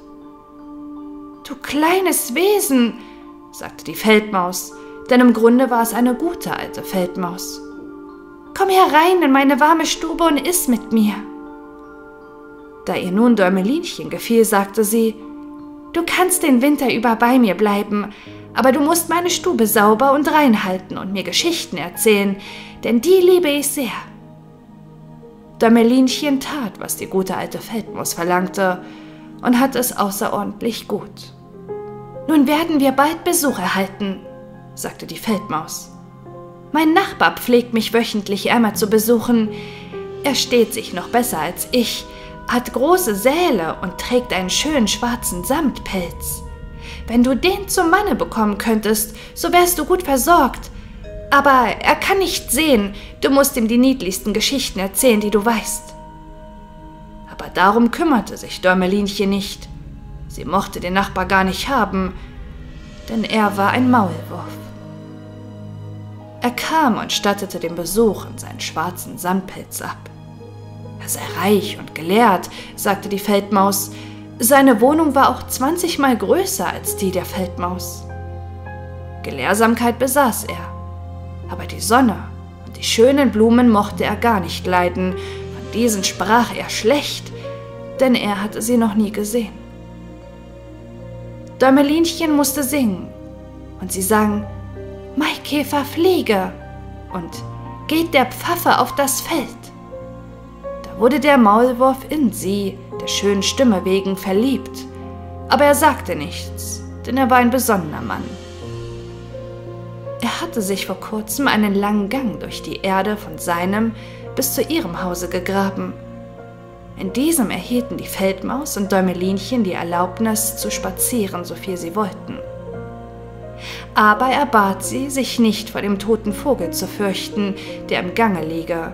Es war ein ganzer Vogel mit Federn und Schnabel, der sicher erst kürzlich gestorben und nun begraben war, gerade da, wo er seinen Gang gemacht hatte. Der Maulwurf nahm nun ein Stück volles Holz ins Maul, denn das schimmerte ja wie Feuer im Dunkeln, ging dann voran und leuchtete ihn in dem langen, dunklen Gange. Als sie dahin kam, wo der tote Vogel lag, stemmte der Maulwurf seine breite Nase gegen die Decke und stieß die Erde so auf, dass ein großes Loch wurde, durch welches das Licht hinunterscheinen konnte. Mitten auf dem Fußboden lag eine tote Schwalbe, die schönen Flügel fest an die Seite gedrückt, die Füße und den Kopf unter die Federn gezogen. Der arme Vogel war sicher vor Kälte gestorben. Das tat Däumelinchen leid. Sie hielt viel von allen kleinen Vögeln. Sie hatten ja den ganzen Sommer so schön vor ihr gesungen und gezwitschert. Aber der Maulwurf stieß ihn mit seinen kurzen Beinen und sagte, nun pfeift er nicht mehr. Es muss doch erbärmlich sein, als kleiner Vogel geboren zu werden. Gott sei Dank, dass keins von meinen Kindern das wird. Ein solcher Vogel hat ja außer seinem Kiewit nichts und muss im Winter verhungern. Ja, das mögt er als vernünftiger Mann wohl sagen, erwiderte die Feldmaus. Was hat der Vogel für all sein Kiebit, wenn der Winter kommt? Er muss hungern und frieren. Doch das soll wohl vornehm sein. Dommelinchen sagte gar nichts. Aber als die beiden anderen den Vogel den Rücken wandten, neigte sie sich herab, schob die Federn beiseite, welche den Kopf bedeckten, und küsste ihn auf die geschlossenen Augen. Vielleicht war er es, der so hübsch vor mir im Sommer sang, dachte sie. Wie viel Freude hat er mir nicht gemacht, der liebe schöne Vogel. Der Maulwurf stopfte nun das Loch zu, durch welches der Tag hereinschien, und begleitete dann die Damen nach Hause. Aber nachts konnte Däumelinchen gar nicht schlafen. Da stand sie vor ihrem Bette auf und flocht von Heu einen großen schönen Teppich. Den trug sie zu dem Vogel, breitete ihn über denselben und legte weiche Baumwolle, welche sie in der Stube der Feldmaus gefunden hatte, an die Seiten des Vogels, damit er in der kalten Erde warm liegen möge. Lebe wohl, du schöner kleiner Vogel, sagte sie. Lebe wohl und habe Dank für deinen herrlichen Gesang im Sommer, als alle Bäume grün waren und die Sonne warm auf uns herabschien. Dann legte sie ihr Haupt an des Vogels Brust, erschreckte aber zugleich, denn es war gerade, als ob drinnen etwas klopfte. Das war des Vogels Herz. Der Vogel war nicht tot, er lag nur betäubt da und war nun erwärmt worden und bekam wieder Leben. Im Herbst fliegen alle Schwalben nach den warmen Ländern fort, aber ist da eine, die sich verspätet, so friert sie so, dass sie wie tot herniederfällt, liegen bleibt, wo sie hinfällt, und der kalte Schnee sie bedeckt. Dämmelinchen zitterte heftig, so war sie erschrocken, denn der Vogel war ja groß, sehr groß gegen sie, die nur ein Zoll lang war. Aber sie fasste doch Mut, legte die Baumwolle dichter um die arme Schwalbe und holte ein Krausemünzblatt, welches sie selbst zum Deckblatt gehabt hatte, und legte es über den Kopf des Vogels. In der nächsten Nacht schlich sie sich wieder zu ihm. Da war er nun lebendig, aber ganz matt. Er konnte nur einen Augenblick seine Augen öffnen und Däumelinchen ansehen, die mit einem Stück faulen Holze in der Hand, denn eine andere Laterne hatte sie nicht, vor ihm stand. Ich danke dir, du niedliches kleines Kind, sagte die kranke Schwalbe zu ihr. Ich bin herrlich erwärmt worden. Bald erhalte ich meine Kräfte zurück und kann dann wieder draußen in den warmen Sonnenschein herumfliegen. Oh, sagte Däumelinchen, es ist kalt draußen, es schneit und friert. Bleib in deinem warmen Bette, ich werde dich schon pflegen. Dann brachte sie der Schwalbe Wasser in einem Blumenblatt, und diese trank und erzählte ihr, wie sie an ihren einen Flügel an einem Dornbusch gerissen und deshalb nicht so schnell habe fliegen können als die anderen Schwalben, welche fortgeflogen seien, weit fort nach den warmen Ländern. So sei sie zuletzt zur Erde gefallen. Mehr wusste sie nicht und auch nicht, wie sie hierher gekommen war. Den ganzen Winter blieb sie nun da unten, Däumelinchen pflegte sie und hatte sie lieb. Weder der Maulwurf noch die Feldmaus erfuhr etwas davon, denn sie mochten die arme Schwalbe nicht leiden. Sobald das Frühjahr kam und die Sonne die Erde erwärmte, sagte die Schwalbe Däumelinchen lebe wohl, die das Loch öffnete, welches der Maulwurf oben gemacht hatte. Die Sonne schien herrlich zu ihnen herein, und die Schwalbe fragte, ob sie mitkommen wolle, Sie könnte auf ihrem Rücken sitzen. Sie wollten weit in die grünen Wald hineinfliegen. Aber Däumelinchen wusste, dass es die alte Feldmaus betrüben würde, wenn sie sie verließe. Nein, ich kann nicht, sagte Däumelinchen. Lebe wohl, lebe wohl, du gutes, niedliches Mädchen, sagte die Schwalbe und flog hinaus in den Sonnenschein. Däumelinchen sah ihr nach und das Wasser trat ihr in die Augen, denn sie war der armen Schwalbe von Herzen gut. Kiwit, kiwit, sang der Vogel und flog in den grünen Wald. Däumelinchen war recht betrübt. Sie erhielt gar keine Erlaubnis, in den warmen Sonnenschein hinauszugehen. Das Korn, welches auf dem Felde über dem Hause der Feldmaus gesät war, wuchs auch hoch in die Luft empor. Das war ein ganz dichter Wald für das arme kleine Mädchen, das nur ein Zoll lang war. Nun sollst du im Sommer deine Aussteuer nähen, sagte die Feldmaus zu ihr, denn der Nachbar, der langweilige Maulwurf in dem schwarzen Samtpelze, hatte um sie gefreit. Du musst sowohl Wollen wie Leinenzeug haben, denn es darf dir nichts fehlen, wenn du des Maulwurfs Frau wirst. Tömmelinchen musste auf der Spindel spinnen, und die Feldmaus mietete vier Spinnen, welche Tag und Nacht für sie spannen und webten. Jeden Abend besuchte sie der Maulwurf und sprach dann immer davon, dass, wenn der Sommer zu Ende gehe, die Sonne lange nicht so warm scheinen werde. Sie brenne ja jetzt die Erde fest wie ein Stein. Ja, wenn der Sommer vorbei sei, dann wolle er mit Däumelinchen Hochzeit halten. Aber sie war gar nicht erfreut darüber, denn sie mochte den langweiligen Maulwurf nicht leiden. Jeden Morgen, wenn die Sonne aufging, und jeden Abend, wenn sie unterging, stahl sie sich zur Tür hinaus. Und wenn dann der Wind die Kornähren trennte, so dass sie den blauen Himmel erblicken konnte, dachte sie daran, wie hell und schön es hier draußen sei, und wünschte sich sehnlichst, die liebe Schwalbe wiederzusehen. Aber die kam nicht wieder. Sie war gewiss weit weg in den schönen grünen Wald gezogen.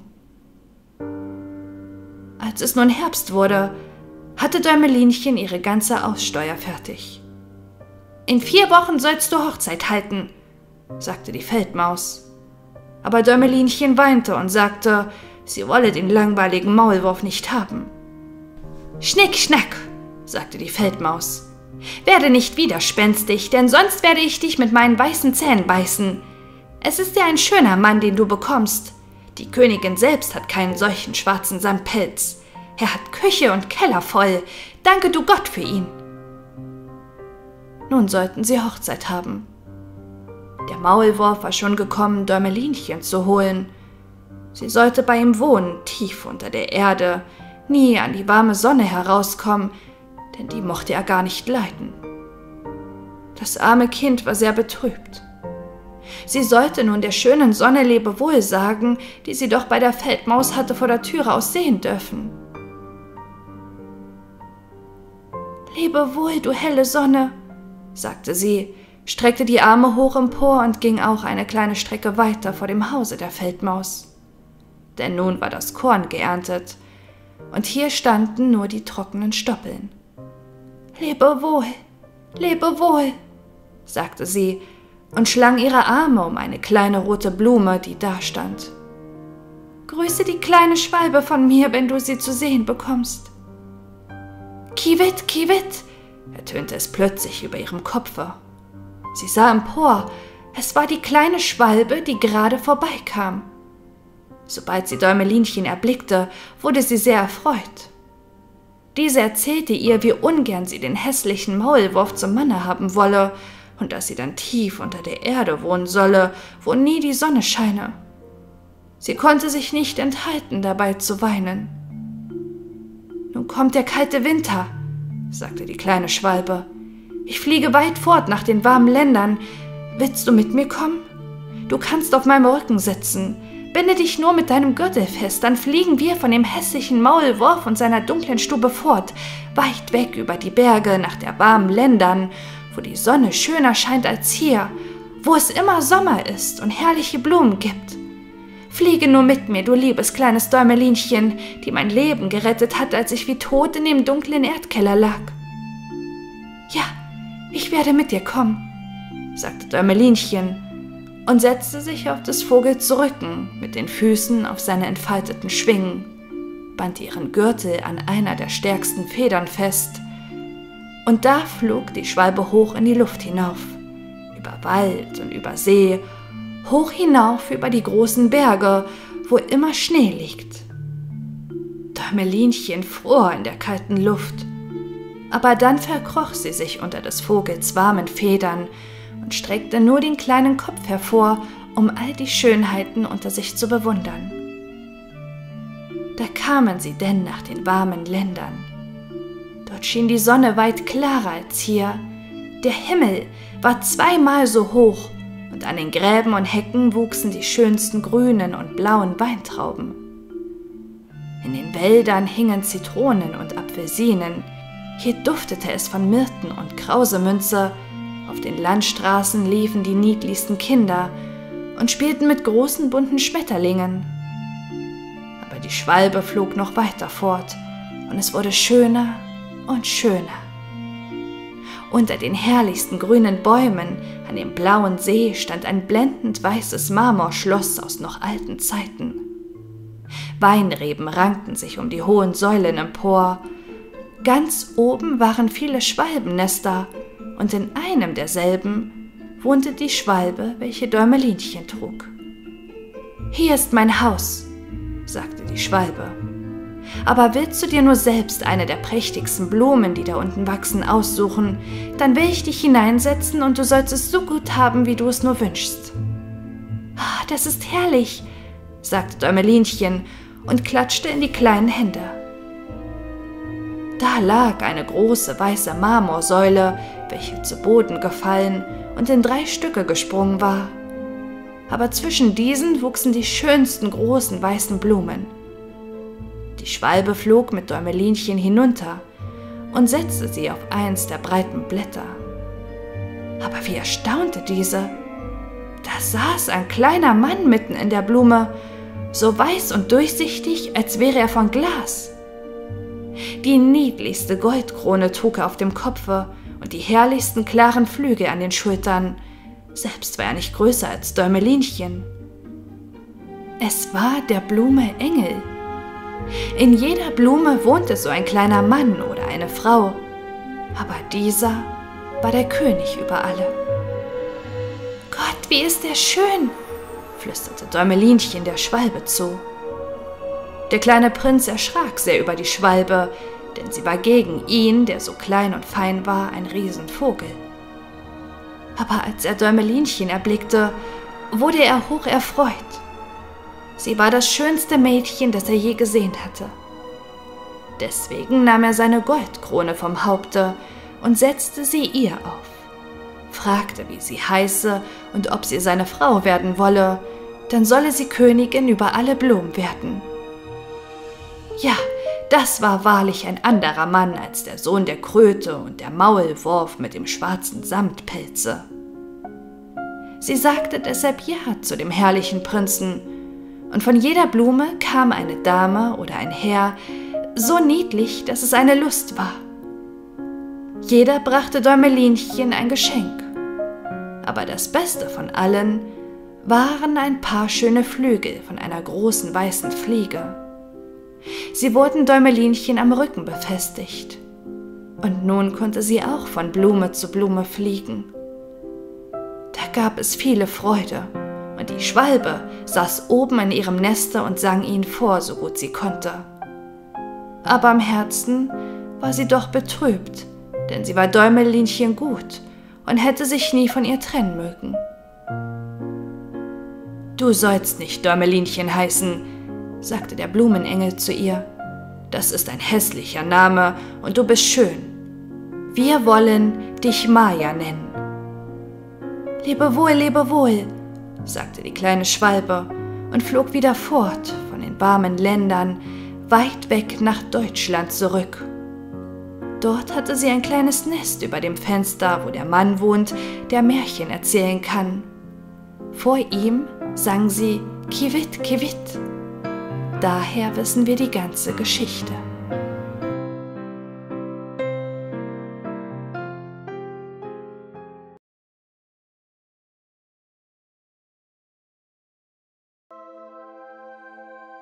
Weit draußen im Meere ist das Wasser so blau wie die Blütenblätter der schönsten Kornblume und so klar wie das reinste Glas.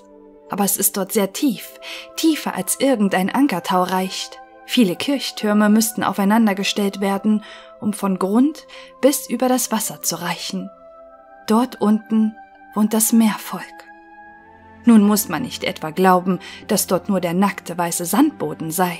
Nein, da wachsen die wundersamsten Bäume und Pflanzen, deren Stiele und Blätter so geschmeidig sind, dass sie sich bei der geringsten Bewegung des Wassers rühren, als ob sie lebend wären. Alle Fische, klein und groß, schlüpfen zwischen den Zweigen hindurch, gerade wie hier oben die Vögel in der Luft. An der allertiefsten Stelle liegt des Meereskönigs Schloss.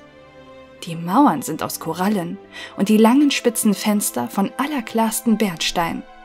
Das Dach aber besteht aus Muschelschalen, die sich öffnen und schließen, je nachdem das Wasser strömt. Das sieht prächtig aus, denn in jeder liegen strahlende Perlen, eine einzige davon würde der Stolz einer Königskrone sein. Der Meereskönig dort unten war seit vielen Jahren Witwer, aber seine alte Mutter besorgte sein Haus. Sie war eine kluge Frau, doch recht stolz auf ihren Adel, deshalb trug sie zwölf Austern auf dem Schwanze, während die anderen Vornehmen nur sechs tragen durften. Sonst verdiente sie großes Lob, besonders weil sie die kleinen Meeresprinzessinnen, ihre Enkelinnen, so liebte das waren sechs prächtige Kinder, aber die jüngste war die schönste von allen.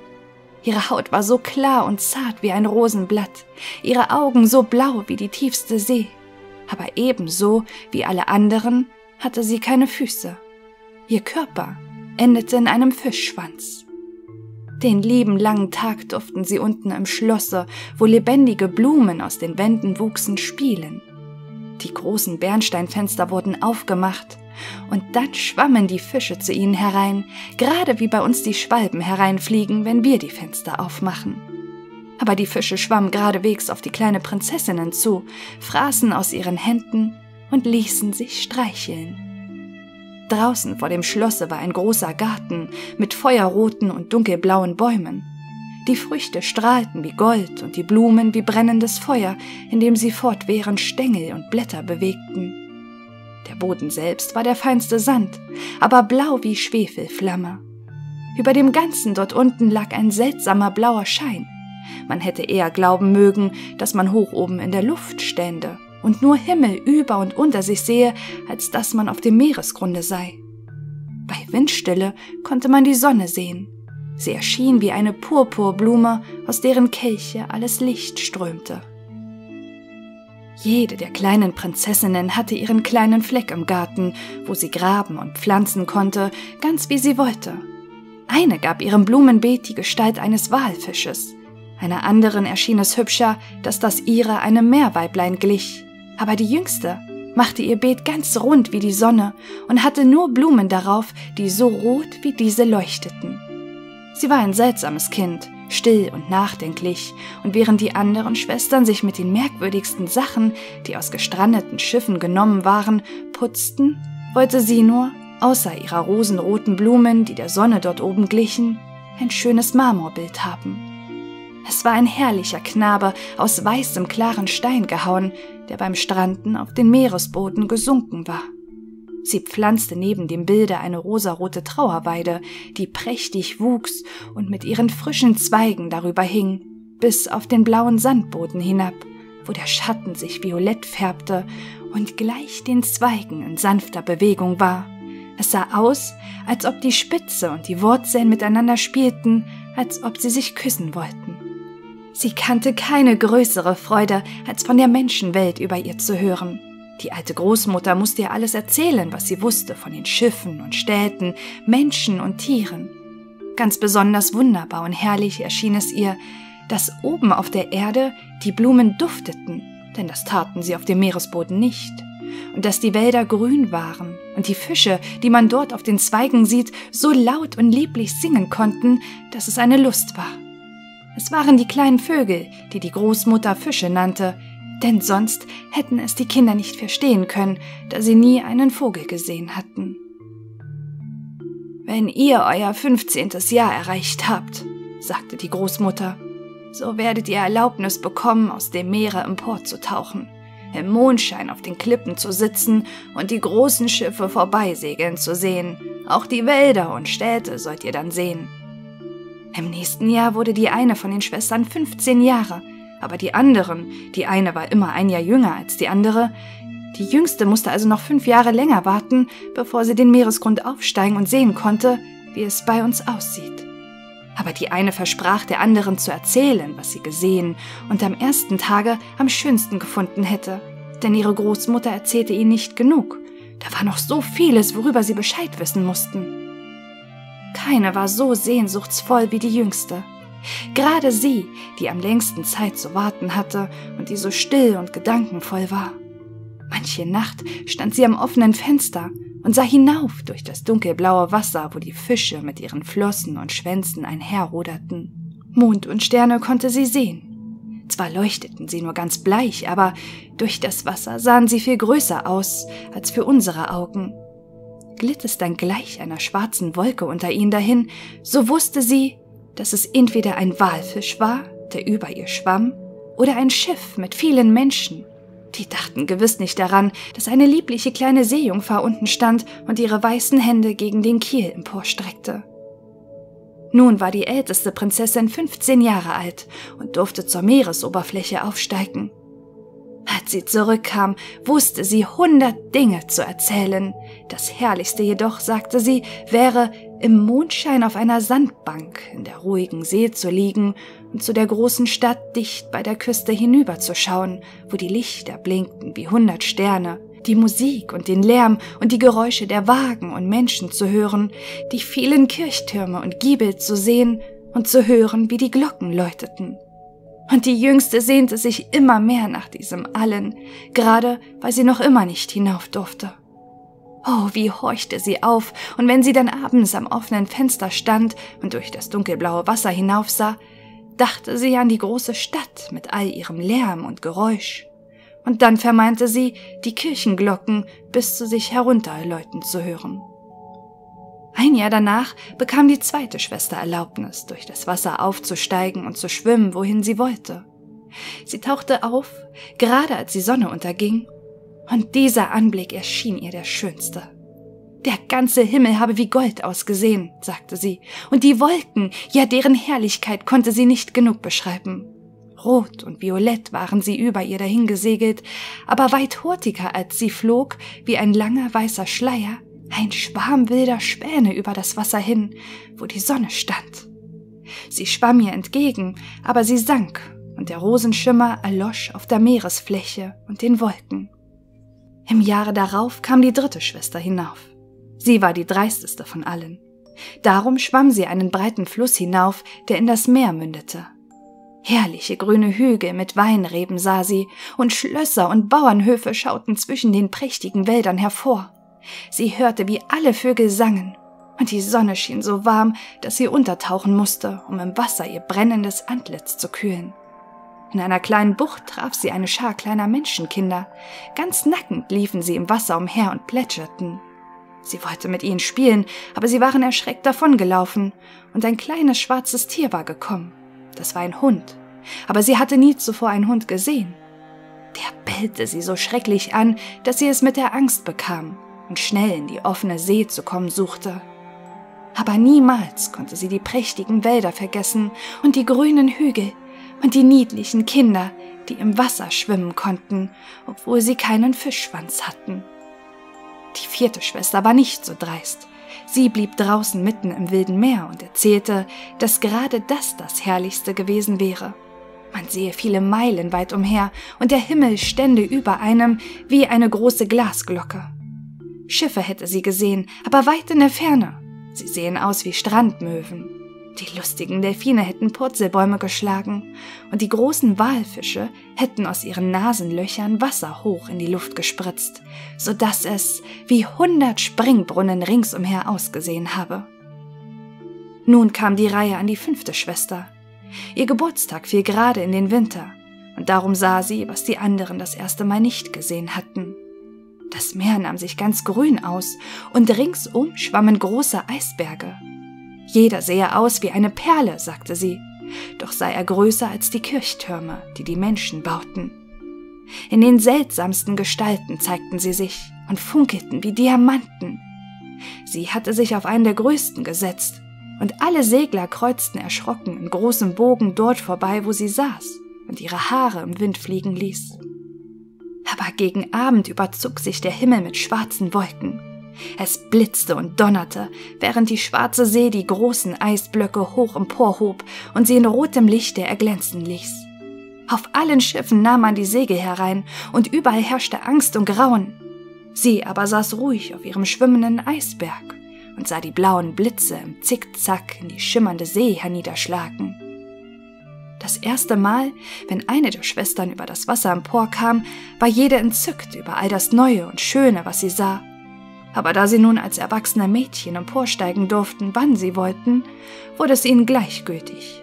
Sie sehnten sich wieder nach Hause zurück, und nach eines Monats Verlauf sagten sie, dass es doch unten bei ihnen am allerschönsten sei. Man sei da so hübsch zu Hause.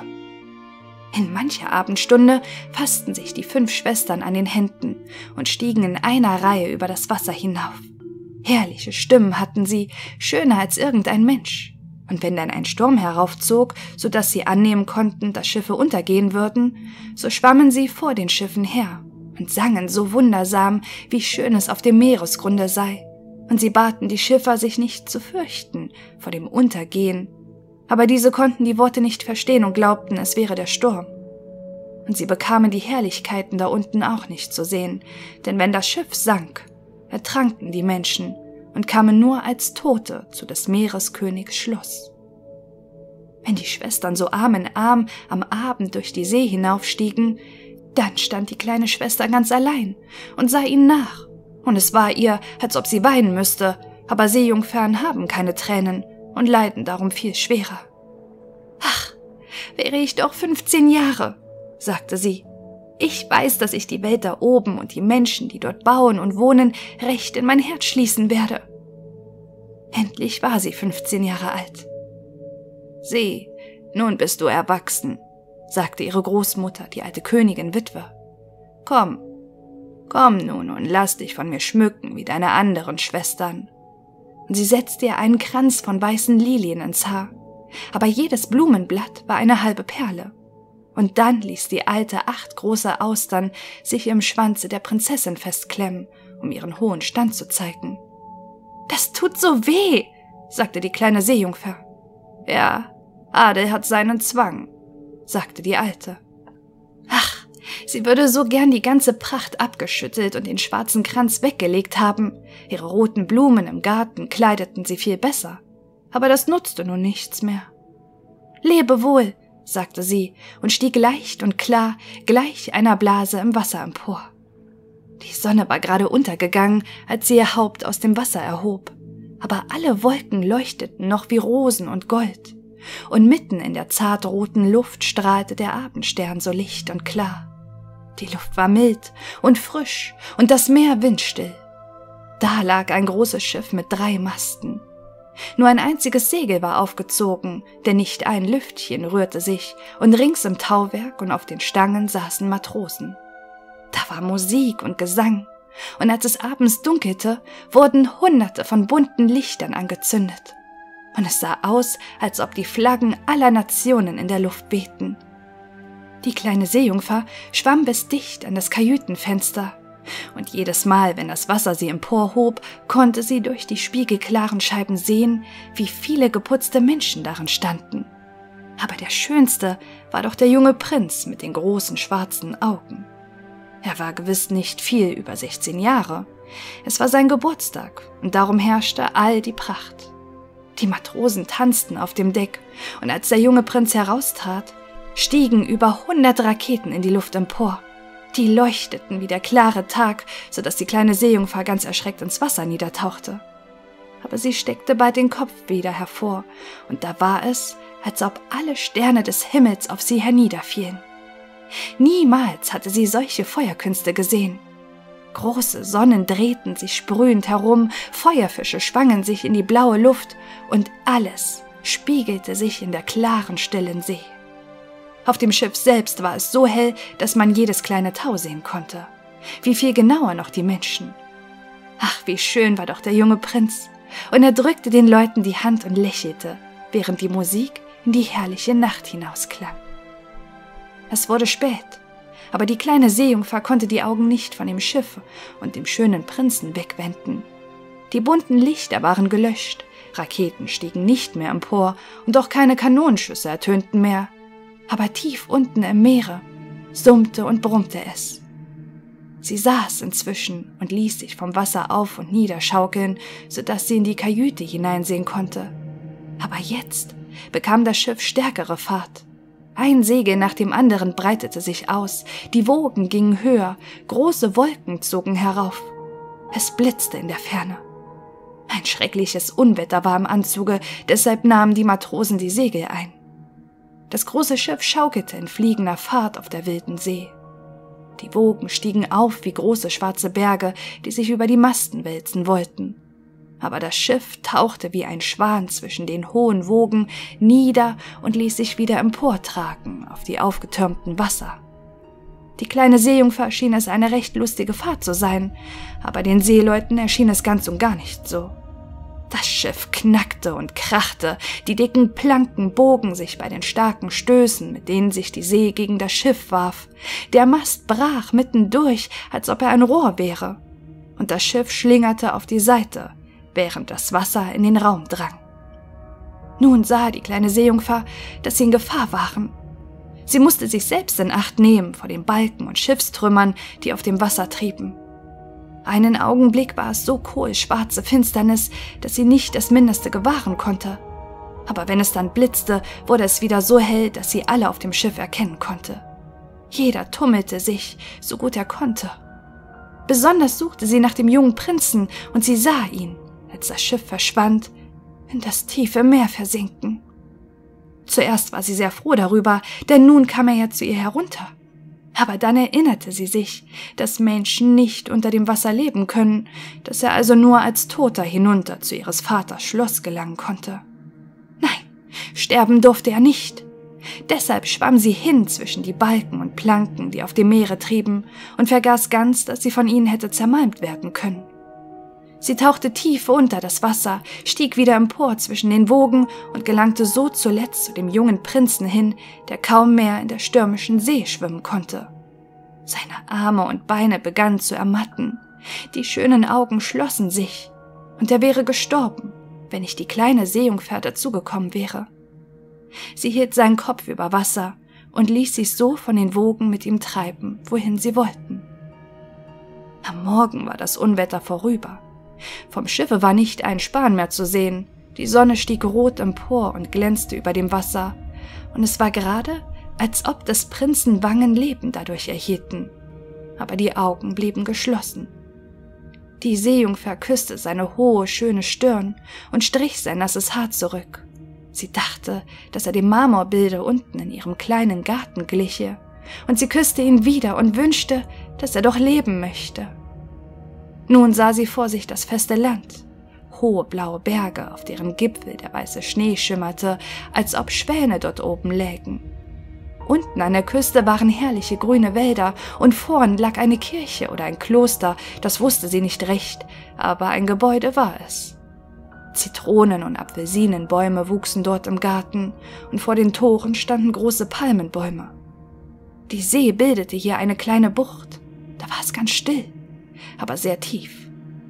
Bis dicht zu den Klippen, wo der feine weiße Sand angespült lag, schwamm sie mit dem schönen Prinzen, legte ihn in den Sand und sorgte besonders dafür, dass der Kopf hoch im warmen Sonnenschein lag.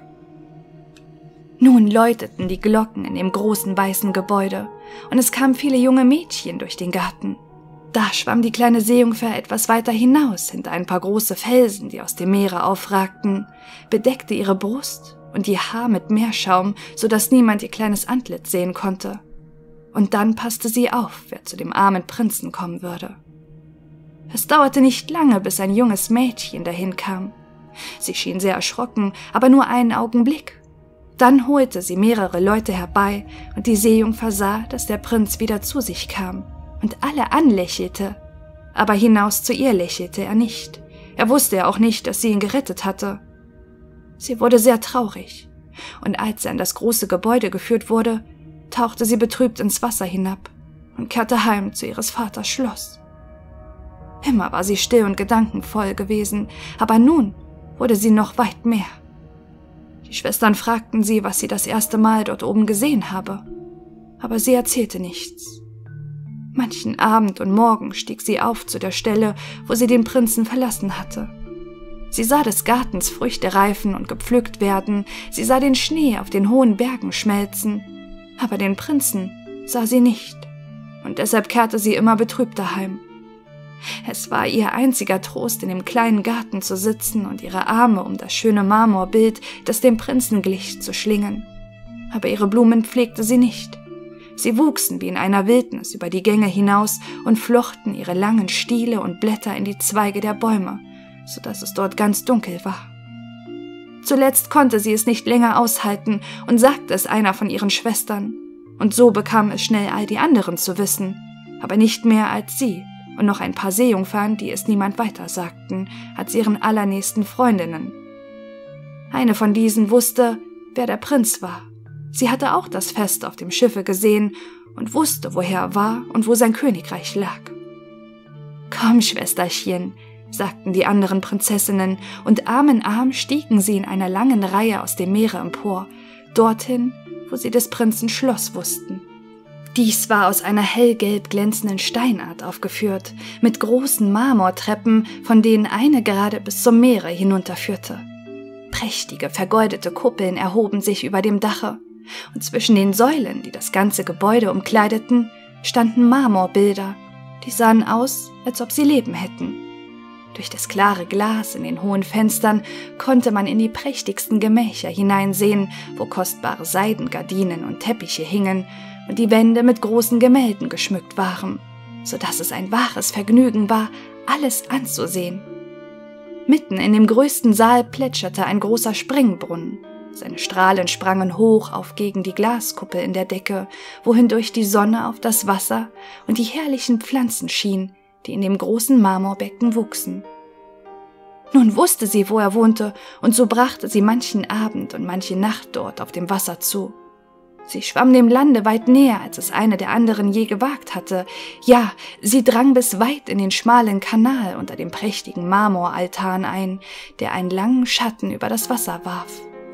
Hier saß sie und sah auf den jungen Prinzen, der sich ganz allein in dem klaren Mondschein glaubte. An manchen Abend sah sie ihn mit Musik und wehenden Flaggen in seinem prächtigen Boot davonsegeln. Sie lugte zwischen dem grünen Schilfe hervor, und wenn der Wind mit ihrem langen silberweißen Schleier spielte und jemand das sah, dachte er, es sei ein Schwan, der seine Flügel höbe. Sie hörte in mancher Nacht, wenn die Fischer mit Fackeln auf dem Meer lagen, dass viel Gutes von dem jungen Prinzen berichtet wurde, und da freute sie sich, dass sie ihn gerettet hatte, als er halb tot auf den Wogen trieb. Und sie dachte daran, wie fest sein Haupt an ihrer Brust geruht hatte und wie innig sie ihn da geküsst hatte. Aber er wusste nichts davon und konnte nicht einmal von ihr träumen. Mehr und mehr kam sie dazu, die Menschen zu lieben, und mehr und mehr wünschte sie, zu ihnen hinaufsteigen zu können, denn die Menschenwelt erschien ihr weit größer als die ihre. Sie konnten zu Schiff über die Meere fliegen, auf die hohen Berge weit über den Wolken steigen, und ihre Länder erstreckten sich mit Wäldern und Feldern weiter, als sie blicken konnte. Da war so vieles, was sie gern wissen wollte, aber die Schwestern konnten ihr auf viele Fragen keine Antwort geben, deshalb fragte sie die alte Großmutter, denn diese kannte die höhere Welt, wie sie sehr richtig die Länder oberhalb des Meeres nannte, recht gut. Wenn die Menschen nicht ertrinken, fragte die kleine Seejungfer. Können Sie dann ewig leben? Sterben Sie nicht, wie wir hier unten im Meere? Ja, sagte die Alte, Sie müssen auch sterben, und Ihre Lebenszeit ist sogar noch kürzer als die unsere. Wir können dreihundert Jahre alt werden, aber wenn wir dann aufgehört haben zu sein, so werden wir in Schaum auf dem Wasser verwandelt und haben nicht einmal ein Grab hier unten zwischen unseren Leben. Wir haben keine unsterbliche Seele, wir erhalten nie wieder Leben. Wir sind gleich dem grünen Schilfe. Ist es einmal abgeschnitten, so kann es nie wieder grünen. Die Menschen dagegen haben eine Seele, die ewig lebt. Die lebt, auch wenn der Körper zur Erde zerfallen ist. Sie steigt auf in der klaren Luft und zu all den schimmernden Sternen empor, gerade wie wir aus dem Meere auftauchen und die Länder der Menschen sehen, so tauchen sie zu unbekannten herrlichen Orten empor, die wir niemals erblicken werden. Warum bekamen wir keine unsterbliche Seele? sagte die kleine Seejungfer betrübt.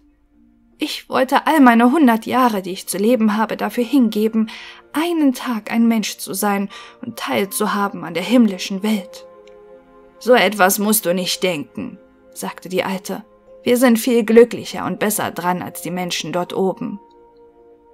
Ich muss also sterben und als Schaum auf dem Meere treiben und darf nicht mehr der Wellen Musik hören, die herrlichen Blumen und die rote Sonne sehen? Kann ich denn gar nichts tun, um eine unsterbliche Seele zu gewinnen? Nein, sagte die Alte, nur wenn ein Mensch dich so lieb gewinnt, dass du für ihn mehr wirst als Vater und Mutter, wenn er mit all seinen Gedanken und seiner Liebe an dir hinge und den Priester deine rechte Hand in seine legen ließe, mit dem Gelübde der Treue hier und für alle Ewigkeit. Dann würde seine Seele in deinen Körper überfließen und du bekämst auch Teil an dem Glücke der Menschen. Er gäbe dir eine Seele und behielte doch die eigene. Aber das kann niemals geschehen. Was hier im Meere gerade als schön gilt, dein Fischschwanz, das finden sie hässlich oben auf der Erde. Sie verstehen es eben nicht besser. Man muss dort zwei plumpe Säulen haben, die sie Beine nennen, um schön zu sein. Da seufzte die kleine Seejungfer und sah betrübt auf ihren Fischschwanz. Lass uns fröhlich sein, sagte die Alte. Hüpfen und springen wollen wir in den dreihundert Jahren, die wir zu leben haben. Das ist eine ganz schöne Zeit. Später kann man sich umso sorgenloser in seinem Grabe ausruhen. Heute Abend haben wir Hofball. Das war eine Pracht, wie man sie auf der Erde nie sehen konnte. Wände und Decken in dem großen Tanzsaal waren aus dickem, aber klarem Glase. Mehrere hundert riesige Muschelschalen, rosenrote und grasgrüne, standen in Reihen an jeder Seite mit einem blau brennenden Feuer, das den ganzen Saal erleuchtete und durch die Wände hinausschien, so dass die See draußen ebenfalls hell erleuchtet war. Man konnte all die unzähligen Fische sehen, große und kleine, die gegen die Glasmauern schwammen. Bei einigen schimmerten die Schuppen purpurrot, bei anderen wie Silber und Gold. Mitten im Saale floss ein breiter Strom, und auf diesem tanzten die Meermänner und Meerweiblein zu ihrem eigenen herrlichen Gesang. So süß klingende Stimmen gab es bei den Menschen auf der Erde nicht. Die kleine Seejungfer sang am schönsten von allen, und alle klatschten ihr zu, und einen Augenblick lang führte sie Freude im Herzen, denn sie wusste, dass sie die schönste Stimme von allem im Wasser und auf der Erde hatte. Aber bald dachte sie doch wieder an die Welt über sich. Sie konnte den schönen Prinzen nicht vergessen und auch nicht ihren Kummer darüber, dass sie nicht, wie er, eine unsterbliche Seele besaß. Deshalb schließ sie sich aus ihres Vaters Schloss, und während alle drinnen sich bei Gesang und Fröhlichkeit vergnügten, saß sie betrübt in ihrem kleinen Garten. Da hörte sie das Waldhorn durch das Wasser hinunter erklingen, und sie dachte, nun fährt er gewiss dort oben, er, den ich lieber habe als Vater und Mutter, er, an dem meine Gedanken hängen und in dessen Hand ich meines Lebens Glück legen möchte. Alles will ich wagen, um ihn und um eine unsterbliche Seele zu gewinnen. Während meine Schwestern dort drinnen in meines Vaters Schloss tanzen, will ich zur Meerhexe gehen, vor der ich mich immer so gefürchtet habe. Aber sie kann vielleicht raten und helfen. Nun ging die kleine Seejungfer aus ihrem Garten hinaus, zu dem brausenden Mahlstrom, hinter dem die Hexe wohnte. Diesen Weg war sie nie zuvor gegangen. Da wuchsen keine Blumen, kein Seegras. Und der nackte graue Sandboden streckte sich gegen den Mahlstrom, wo das Wasser wie brausende Mühlenräder im Kreise wirbelte. Und alles, was es erfasste, mit sich in die Tiefe riss. Mitten zwischen diesen zermalmenden Wirbeln musste sie dahingehen, um in das Reich der Meerhexe zu gelangen. Dann gab es eine ganze Strecke keinen anderen Weg, als über heiß sprudelnden Schlamm, den die Hexe ihr Torfmoor nannte. Dahinter lag ihr Haus, mitten in einem seltsamen Walde. Alle Bäume und Büsche waren Polypen, halb Tier, halb Pflanze. Sie sahen aus wie hundertköpfige Schlangen, die aus der Erde wuchsen. Alle Zweige waren lange, schleimige Arme mit Fingern wie geschmeidige Würmer. Und Glied für Glied bewegten sie sich von der Wurzel bis zur äußersten Spitze. Alles, was in ihre Greifennähe kam im Meer, umschnürten sie fest und ließen es nicht wieder los. Die kleine Seejungfer blieb ganz erschrocken draußen stehen. Ihr Herz klopfte vor Angst, fast wäre sie wieder umgekehrt. Aber da dachte sie an den Prinzen und an die Menschenseele, und das machte ihr Mut. Ihr langes, wehendes Haar band sie fest um den Kopf, so dass die Polypen sie nicht daran ergreifen könnten. Beide Hände legte sie über der Brust zusammen und schoss von dannen, schnell wie nur ein Fisch durchs Wasser schießen kann. Mitten hinein zwischen die hässlichen Polypen, die ihre geschmeidigen Arme und Finger nach ihr ausstreckten. Sie sah, wie jeder von ihnen etwas, was er aufgegriffen hatte, mit hundert kleinen Armen festhielt, wie mit starken Eisenbanden. Menschen, die in der See umgekommen waren und tief heruntergesunken waren, sahen als weiße Gerippe aus den Armen der Polypen hervor. Steuerruder und Kisten hielten sie fest, Skelette von Landtieren und eine kleine Meerjungfer, die sie gefangen und erstickt hatten. Das erschien ihr fast als das Schrecklichste. Nun gelangte sie an einen großen, mit Schleim bedeckten Platz im Walde, wo große, fette Wasserschlangen sich wälzten und ihre hässlichen, weißgelben Bäuche zeigten. Mitten auf dem Platz war ein Haus errichtet aus ertrunkenen Menschen weißen Gebeinen. Da saß die Meerhexe und ließ eine Kröte von ihrem Munde essen, gerade wie Menschen einen kleinen Kanarienvogel Zucker picken lassen. Die hässlichen, fetten Wasserschlangen nannte sie ihre kleinen Küchlein und ließ sie sich auf ihrer großen, schwammigen Brust wälzen. Ich weiß schon, was du willst, sagte die Meerhexe das ist zwar dumm von dir, aber du sollst trotzdem deinen Willen haben, denn er wird dich ins Unglück stürzen, meine schöne Prinzessin. Du willst gern deinen Fischschwanz los sein und dafür zwei Stümpfe haben, um darauf zu gehen, ebenso wie die Menschen, damit der junge Prinz sich in dich verlieben soll und du ihn und eine unsterbliche Seele bekommen kannst. Gleichzeitig lachte die Hexe so laut und scheußlich, dass die Kröte und die Schlangen zur Erde fielen und sich dort wälzten. Du kommst gerade zur rechten Zeit, sagte die Hexe. Morgen, wenn die Sonne aufgeht, könnte ich dir nicht mehr helfen, bevor wieder ein Jahr um wäre. Ich will dir einen Trunk bereiten, mit dem sollst du, bevor die Sonne aufgeht, ans Land schwimmen, dich ans Ufer setzen und ihn trinken. Dann verschwindet dein Schwanz und schrumpft zusammen zu dem, was die Menschen hübsche Beine nennen. Aber es tut weh. Es wird sein, als ob ein scharfes Schwert durch dich hindurch ginge. Alle, die dich sehen, werden sagen, du seist das liebreizendste Menschenkind, das sie je gesehen hätten. Du behältst deinen schwebenden Gang. Keine Tänzerin wird schweben können wie du. Aber jeder Schritt, den du tust, wird sein, als ob du auf scharfe Messer trätest, so dass dein Blut fließen muss. Willst du all dies erleiden, so werde ich dir helfen. Ja, sagte die kleine Seejungfer mit bebender Stimme und dachte an den Prinzen und die unsterbliche Seele. Bedenke aber, sagte die Hexe, hast du erst menschliche Gestalt bekommen, so kannst du nie wieder eine Seejungfer werden. Niemals wieder kannst du durch das Wasser zu deinen Schwestern niedersteigen und zu deines Vaters Schloss. Und wenn du die Liebe des Prinzen nicht erringst, so dass er um deinetwillen Vater und Mutter vergisst, mit all seinen Gedanken nur an dir hängt und den Priester eure Hände ineinander legen lässt, so dass ihr Mann und Frau werdet, so bekommst du keine unsterbliche Seele. Am ersten Morgen, nachdem er sich mit einer anderen vermählt hat, muss dein Herz brechen und du wirst zu Schaum auf dem Wasser. Ich will es, sagte die kleine Seejungfer und war bleich wie der Tod. Aber mich musst du auch bezahlen, sagte die Hexe, und es ist nicht wenig, was ich verlange. Du hast die herrlichste Stimme von allen hier auf dem Meeresgrunde, damit willst du ihn bezaubern, hast du dir wohl gedacht, aber die Stimme musst du mir geben, das Beste, was du besitzest, will ich für meinen kostbaren Trank haben. Ich muss ja mein eigenes Blut für dich da reinmischen, damit der Trank scharf werde wie ein zweischneidiges Schwert. Aber wenn du mir meine Stimme nimmst, sagte die kleine Seejungfer, was behalte ich dann übrig?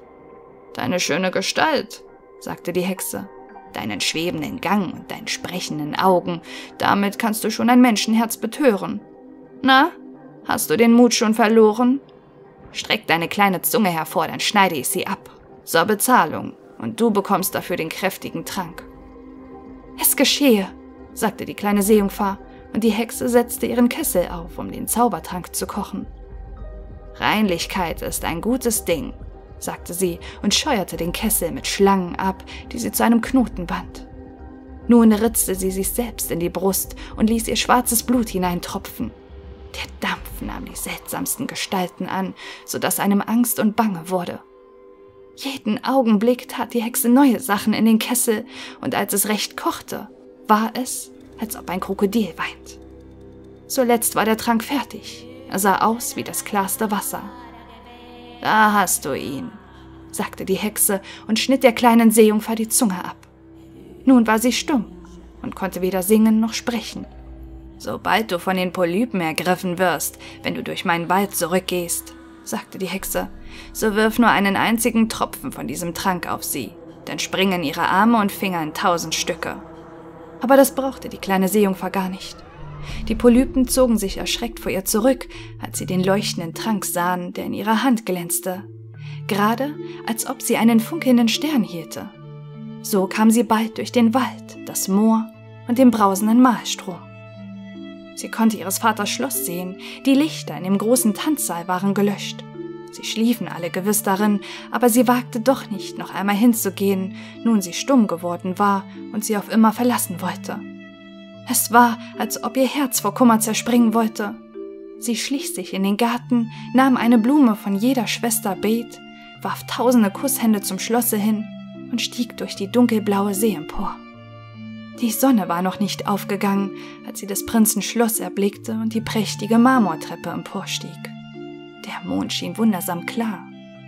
Die kleine Seejungfer trank den brennend scharfen Trank, und es war ihr, als ob ein zweischneidiges Schwert durch ihre feinen Glieder ging. Sie wurde darüber ohnmächtig und lag wie tot da. Als die Sonne über die See schien, erwachte sie und fühlte einen schneidenden Schmerz. Aber gerade vor ihr stand der schöne junge Prinz. Er heftete seine kohlschwarzen Augen auf sie, so dass sie die ihren niederschlug. Und nun sah sie, dass ihr Fischschwanz fort war und sie die niedlichsten kleinen weißen Füßchen hatte, die nur ein Mädchen haben konnte. Aber sie war ganz nackend, darum hüllte sie sich in ihr langes, dichtes Haar.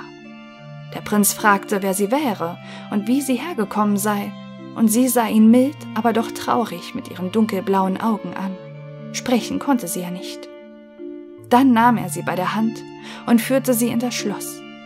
Jeder Schritt, den sie tat, war, wie die Hexe es ihr vorausgesagt hatte, als ob sie auf spitzen Nadeln und scharfe Messer trete. Aber das erduldete sie gerne. An des Prinzen Hand stieg sie so leicht wie eine Seifenblase empor. Und er und alle anderen verwunderten sich über ihren anmutig dahinschwebenden Gang. Mit köstlichen Kleidern aus Seide und Musselin wurde sie nun bekleidet. Sie war die schönste im Schlosse, aber sie war stumm, konnte weder singen noch sprechen. Wunderschöne Sklavinnen, gekleidet in Seide und Gold, traten hervor und sangen vor dem Prinzen und seinen königlichen Eltern.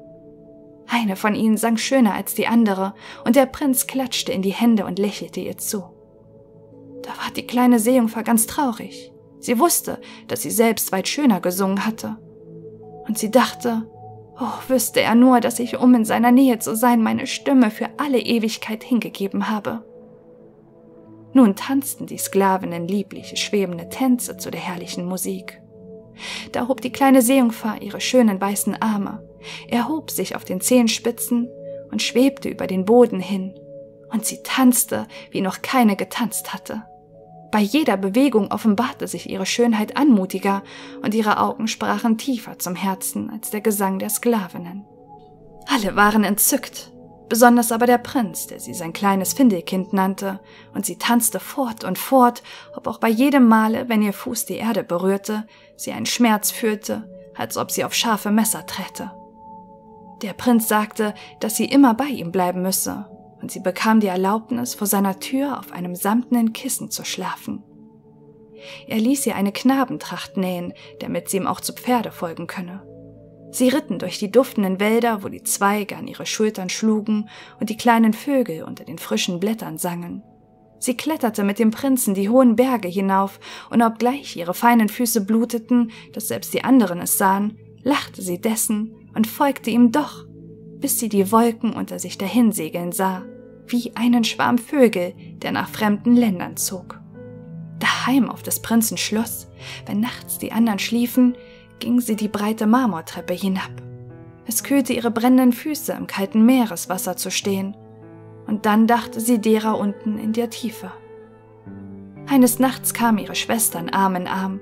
Sie sangen so traurig, während sie über das Wasser dahin schwammen, und sie winkte ihnen zu, und sie erkannten sie und erzählten, wie traurig sie alle um sie seien. Sie besuchten sie von nun an jede Nacht und in einer Nacht sah sie weit draußen die alte Großmutter, die seit vielen Jahren nicht mehr über dem Wasser gewesen war, und den Meerkönig mit seiner Krone auf dem Haupte.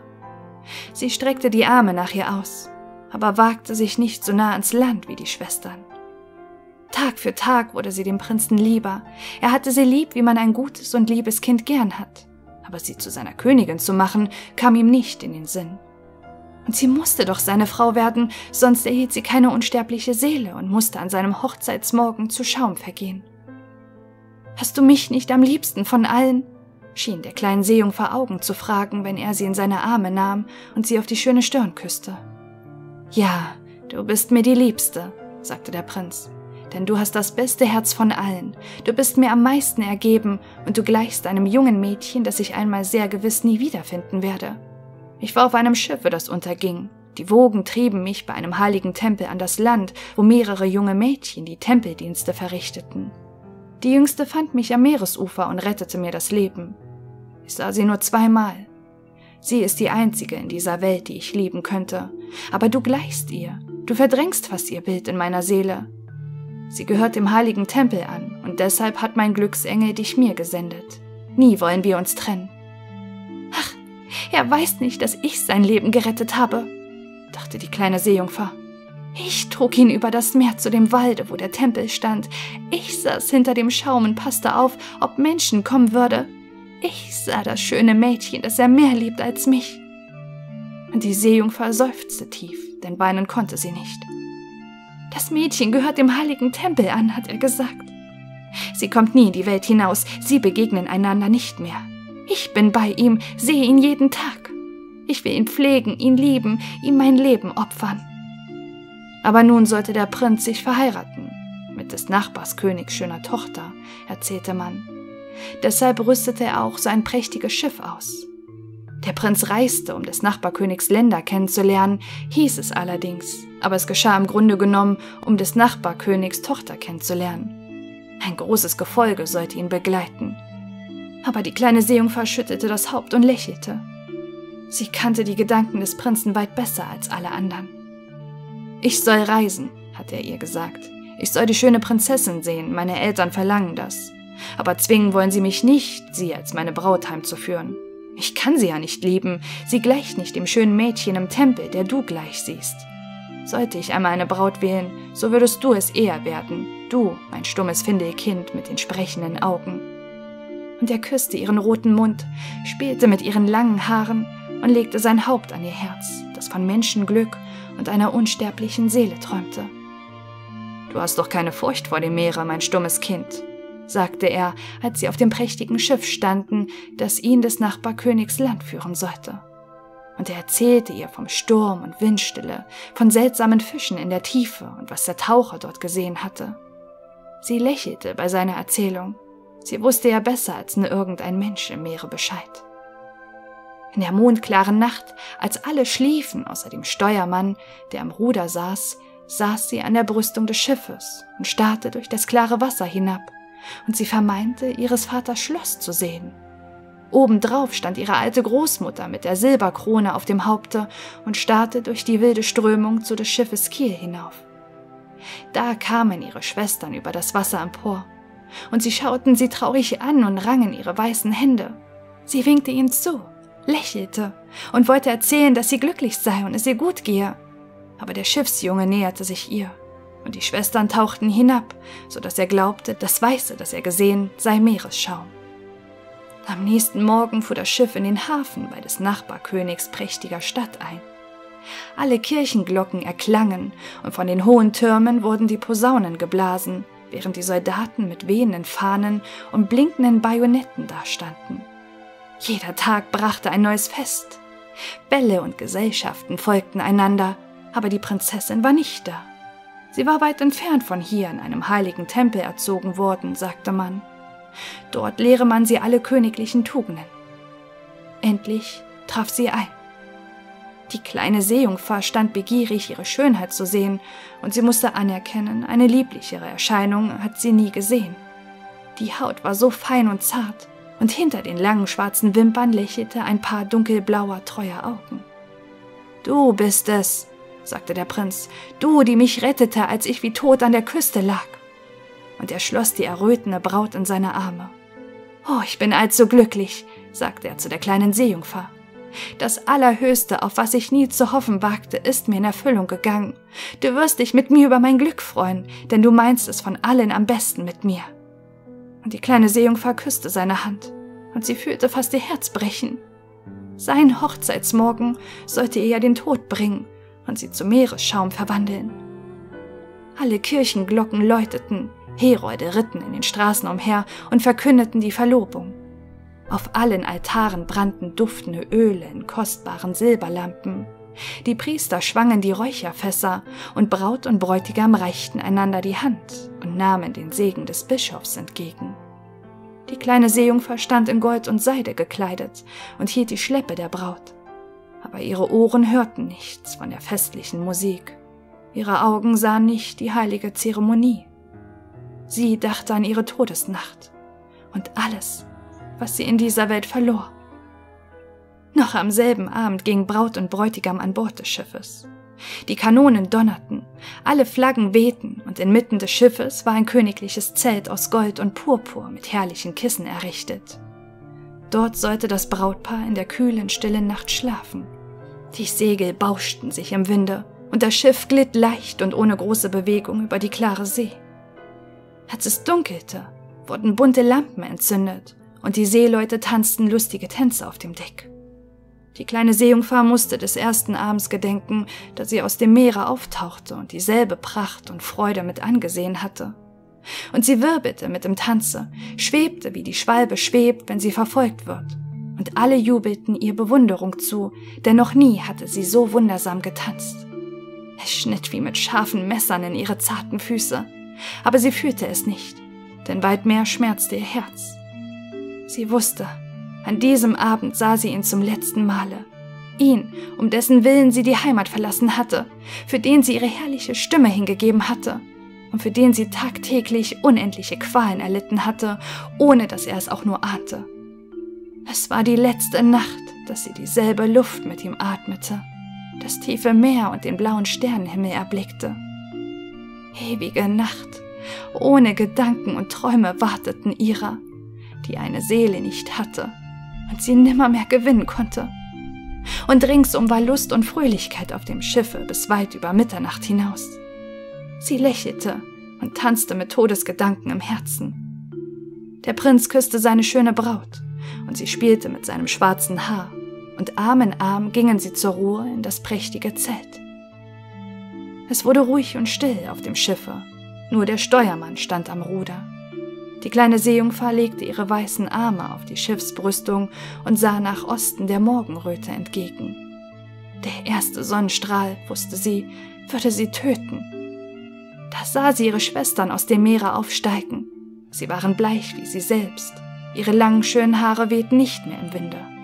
Sie waren abgeschnitten. Wir haben sie der Hexe gegeben, damit sie dir Hilfe bringen sollte und du nicht in dieser Nacht sterben musst. Sie hat uns ein Messer gegeben. Hier ist es. Siehst du, wie scharf es ist? Bevor die Sonne aufgeht, musst du es dem Prinzen ins Herz stoßen. Und wenn sein warmes Blut über deine Füße spritzt, wachsen sie zu einem Fischschwanz zusammen. Und du wirst wieder eine Seejungfer, kannst du uns ins Wasser herniedersteigen und noch 300 Jahre leben, ehe du zu totem, kaltem Meeresschaum wirst. Beile dich! Er oder du musst sterben, bevor die Sonne aufgeht. Unsere alte Großmutter trauert so sehr, dass ihr weißes Haar abgefallen ist, wie das unsere von der Schere der Hexe. Töte den Prinzen und komm zurück. Beeile dich. Siehst du den roten Streifen am Himmel? In wenigen Minuten steigt die Sonne empor. Und dann musst du sterben.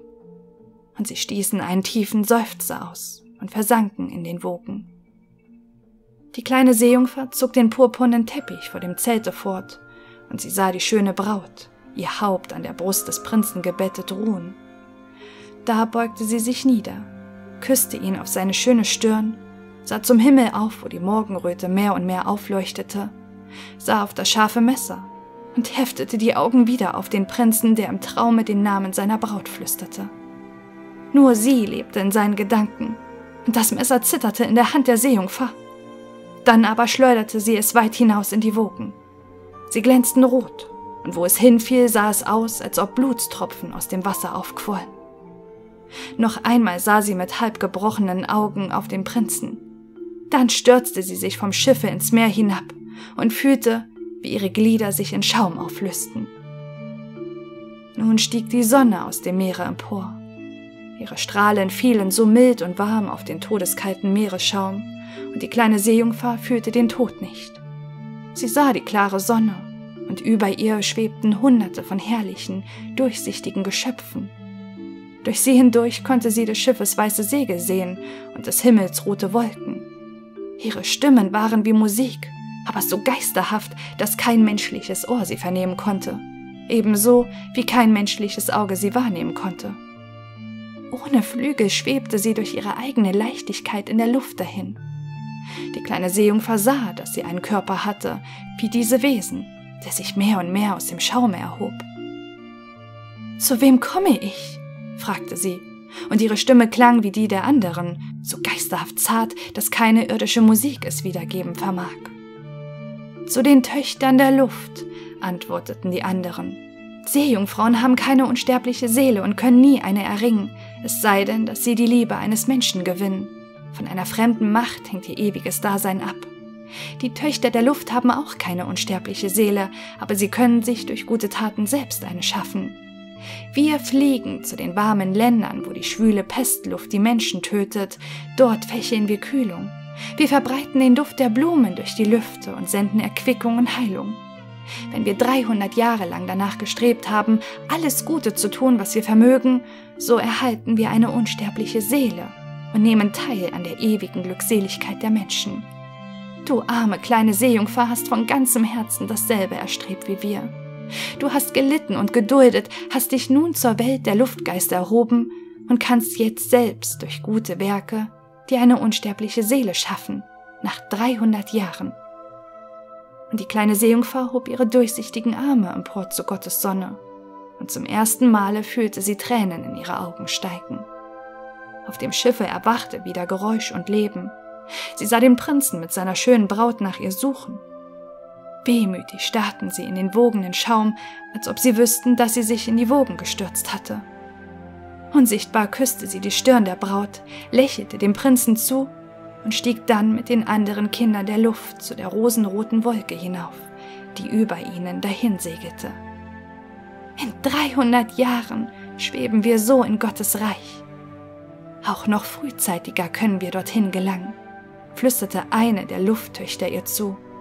Unsichtbar schweben wir in die Häuser der Menschen, wo Kinder sind, und um jeden Tag, an dem wir ein gutes Kind finden, das seinen Eltern Freude macht und ihre Liebe verdient, verkürzt Gott unsere Prüfungszeit. Das Kind weiß nicht, wann wir in die Stube fliegen, und wenn wir vor Freude über ein Kind lächeln, so wird uns ein Jahr von den 300 geschenkt. Aber wenn wir ein unartiges und böses Kind sehen, dann müssen wir Tränen des Kummers vergießen, und jede Träne legt unsere Prüfungszeit einen Tag hinzu.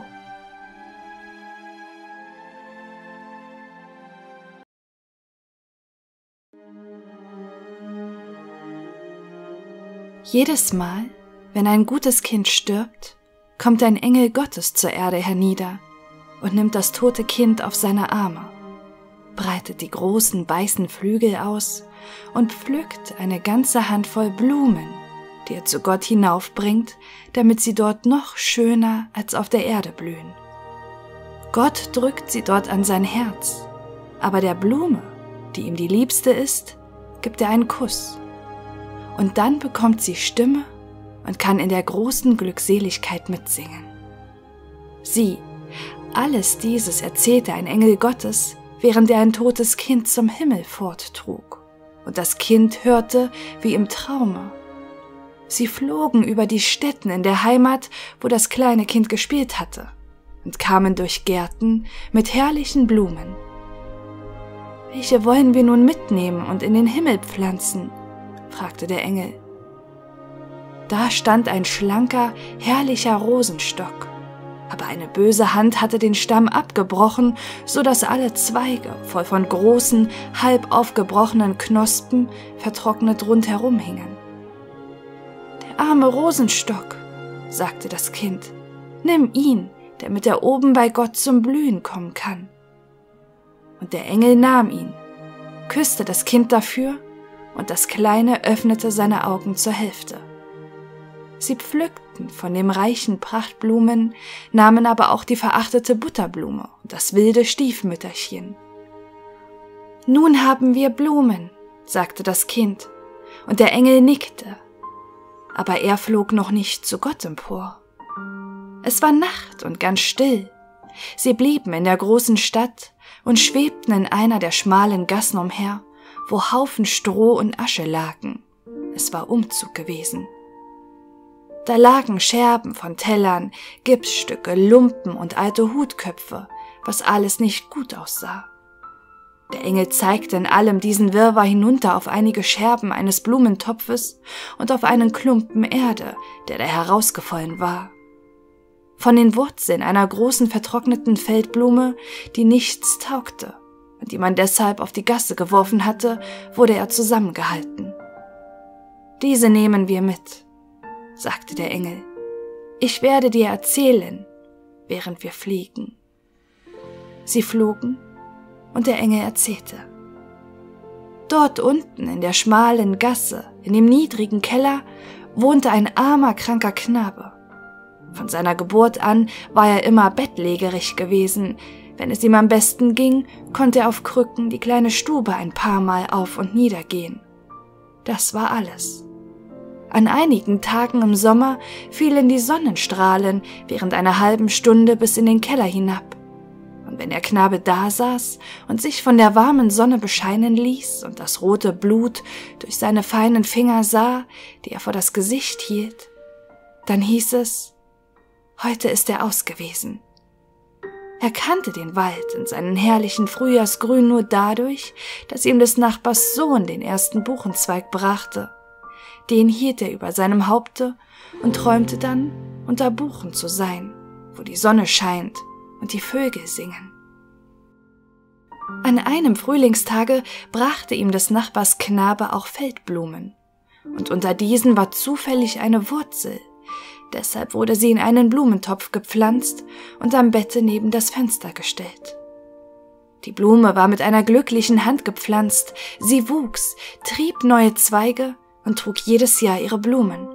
Sie wurde des kranken Knaben herrlichster Blumengarten, sein kleiner Schatz hier auf Erden. Er begoss und pflegte sie und sorgte dafür, dass sie jeden Sonnenstrahl bis zum letzten, der durch das niedrige Fenster hinunterglitt, erhielt. Die Blume selbst verwuchs mit seinen Tränen, denn für ihn blühte sie, verbreitete sie ihren Duft und erfreute das Auge. Gegen sie wendete er sich im Tode, da der Herr ihn rief.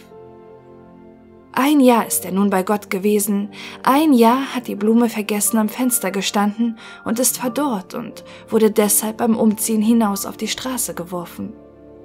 Und dies ist die Blume, die vertrocknete Blume, die wir mit unserem Blumenstrauß genommen haben. Denn diese Blume hat mehr erfreut als die reichste Blume im Garten einer Königin. Aber woher weißt du das alles? fragte das Kind, das der Engel gen Himmel trug. Ich weiß es, sagte der Engel, denn ich war selbst der kleine kranke Knabe, der auf Krücken ging. Meine Blume kenne ich wohl. Das Kind öffnete seine Augen ganz und sah in des Engels herrliches, frohes Antlitz hinein. Und im selben Augenblick befanden sie sich in Gottes Himmel, wo Freude und Glückseligkeit waren. Gott drückte das tote Kind an sein Herz, und da bekam es Schwingen wie der andere Engel und flog Hand in Hand mit ihm. Gott drückte alle Blumen an sein Herz, aber die arme verdorrte Feldblume küsste er und sie erhielt Stimme und sang mit allen Engeln, welche Gott umschwebten, einige ganz nah, andere um diese herum, in großen Kreisen und immer weiter fort in das Unendliche. Aber alle gleich glücklich. Und alle sangen sie, klein und groß, samt dem guten gesegneten Kinde und der armen Feldblume, die verdorrt dagelegen hatte, hingeworfen in den Kehricht des Umziehtages in der schmalen, dunklen Gasse.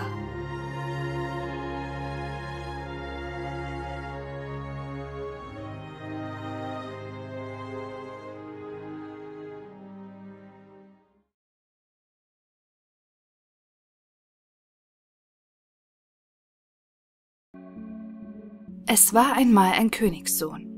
Niemand hatte so viele schöne Bücher wie er.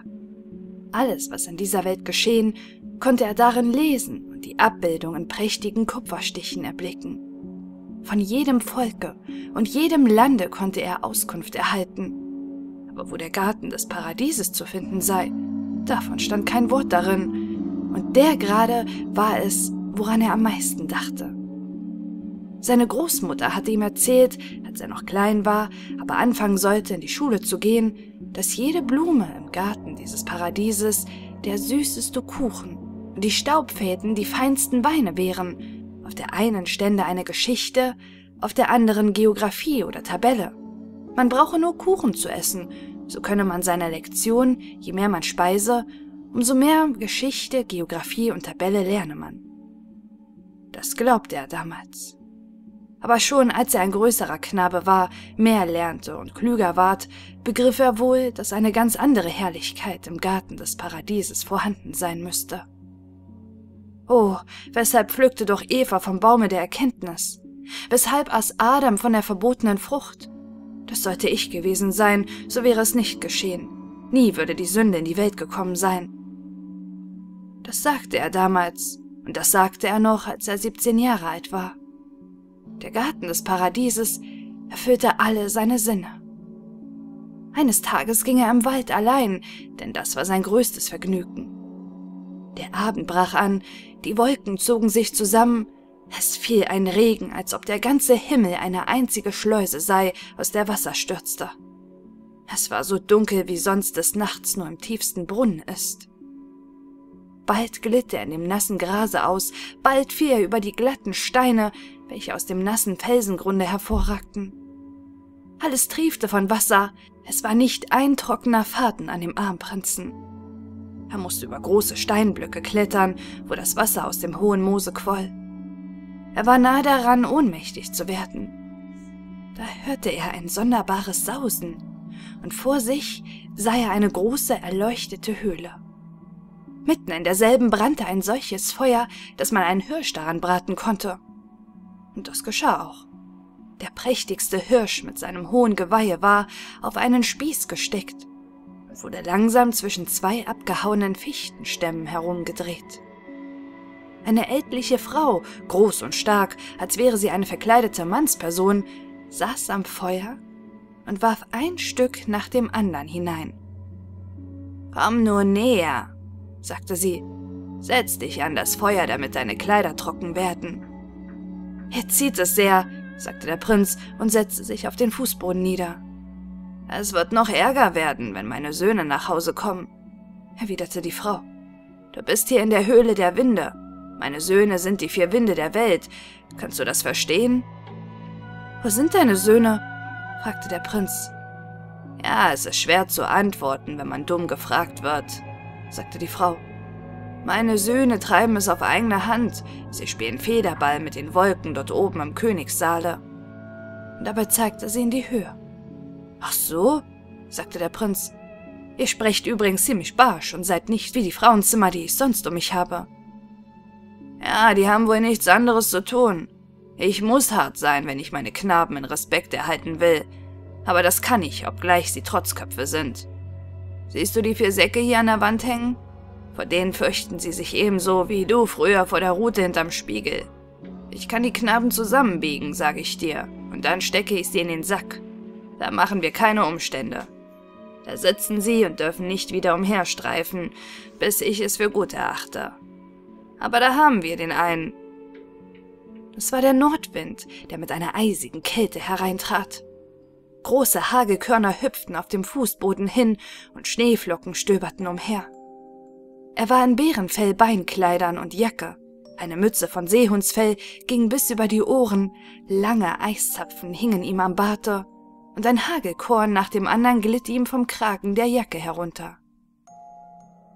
Gehen Sie nicht gleich an das Feuer, sagte der Prinz. Es könnte sonst leicht Gesicht und Hände erfrieren. Erfrieren, sagte der Nordwind und lachte laut auf. Kälte ist mein größtes Vergnügen. Was bist du übrigens für ein Schneiderlein? Wie kommst du in die Höhle der Winde? Er ist mein Gast, sagte die Alte. Und bist du mit dieser Erklärung nicht zufrieden, so kannst du in den Sack kommen. Verstehst du mich nun? Sieh, das half und der Nordwind erzählte, von wannen er kann und wo er fast einen ganzen Monat gewesen. Vom Polarmeere komme ich, sagte er. Ich bin auf dem Bäreneilande, den russischen Walrossjägern gewesen. Ich saß und schlief auf dem Steuer, als sie vom Nordkap wegsegelten. Wenn ich mitunter erwachte, flog mir der Sturmvogel um die Beine. Das ist ein komischer Vogel. Er macht einen raschen Schlag mit den Flügeln, hält sie darauf unbeweglich ausgestreckt und hat dann volle Fahrt. Mach es nicht nur zu weitschweifig, sagte die Mutter der Winde. Du kamst also nach dem Bäreneilande? Dort ist es schön. Das ist ein Fußboden zum Tanzen, flach wie ein Teller. Halb aufgetauter Schnee mit ein wenig Moos, scharfe Steine und Gerippe von Ballrossen und Eisbären lagen umher, sowie auch Riesenarme und Beine mit verschimmeltem Grün. Man möchte glauben, dass die Sonne nie darauf geschienen hätte. Ich blies ein wenig in den Nebel, damit man den Schuppen sehen konnte. Das war ein Haus, von Wrackholz erbaut und mit Walrosshäuten überzogen. Die Fleischseite war nach außen gekehrt, auf dem Dache saß ein lebendiger Eisbär und brummte. Ich ging nach dem Strande, sah nach den Vogelnestern, erblickte die nackten Jungen, die schrien und sperrten den Schnabel auf. Da blies ich in die tausend Kehlen hinab, und sie lernten den Schnabel schließen. Weiterhin wälzten sich die Walrosse wie lebendige Eingeweide oder Riesenmaden mit Schweinköpfen und L-langen Zähnen. Du erzählst gut, mein Sohn, sagte die Mutter. Das Wasser läuft mir im Munde zusammen, wenn ich dich anhöre. Oh, dann ging das Jagen an. Die Harpune wurde in die Brust des Walrosses geworfen, so dass der dampfende Blutstrahl, ein Springbrunnen gleich, über das Eis spritzte. Da gedachte ich auch meines Spieles. Ich blies auf und ließ meine Segler, die turmhohen Eisberge, die Boote einklemmen. Hui, wie man pfiff und wie man schrie, aber ich pfiff lauter. Die toten Walrosskörper, Kisten und Tauwerk mussten sie auf das Eis auswerfen, schüttete die Schneeflocken über sie und ließ sie in den eingeklemmten Fahrzeugen mit ihrem Fange nach Süden treiben, um dort Salzwasser zu kosten. Sie kommen nie mehr nach dem Bäreneilande. So hast du ja Böses getan, sagte die Mutter der Winde. Was ich Gutes getan habe, mögen die anderen erzählen, sagte er. Aber da haben wir meinen Bruder aus Westen, ich mag ihn von allen am besten leiden.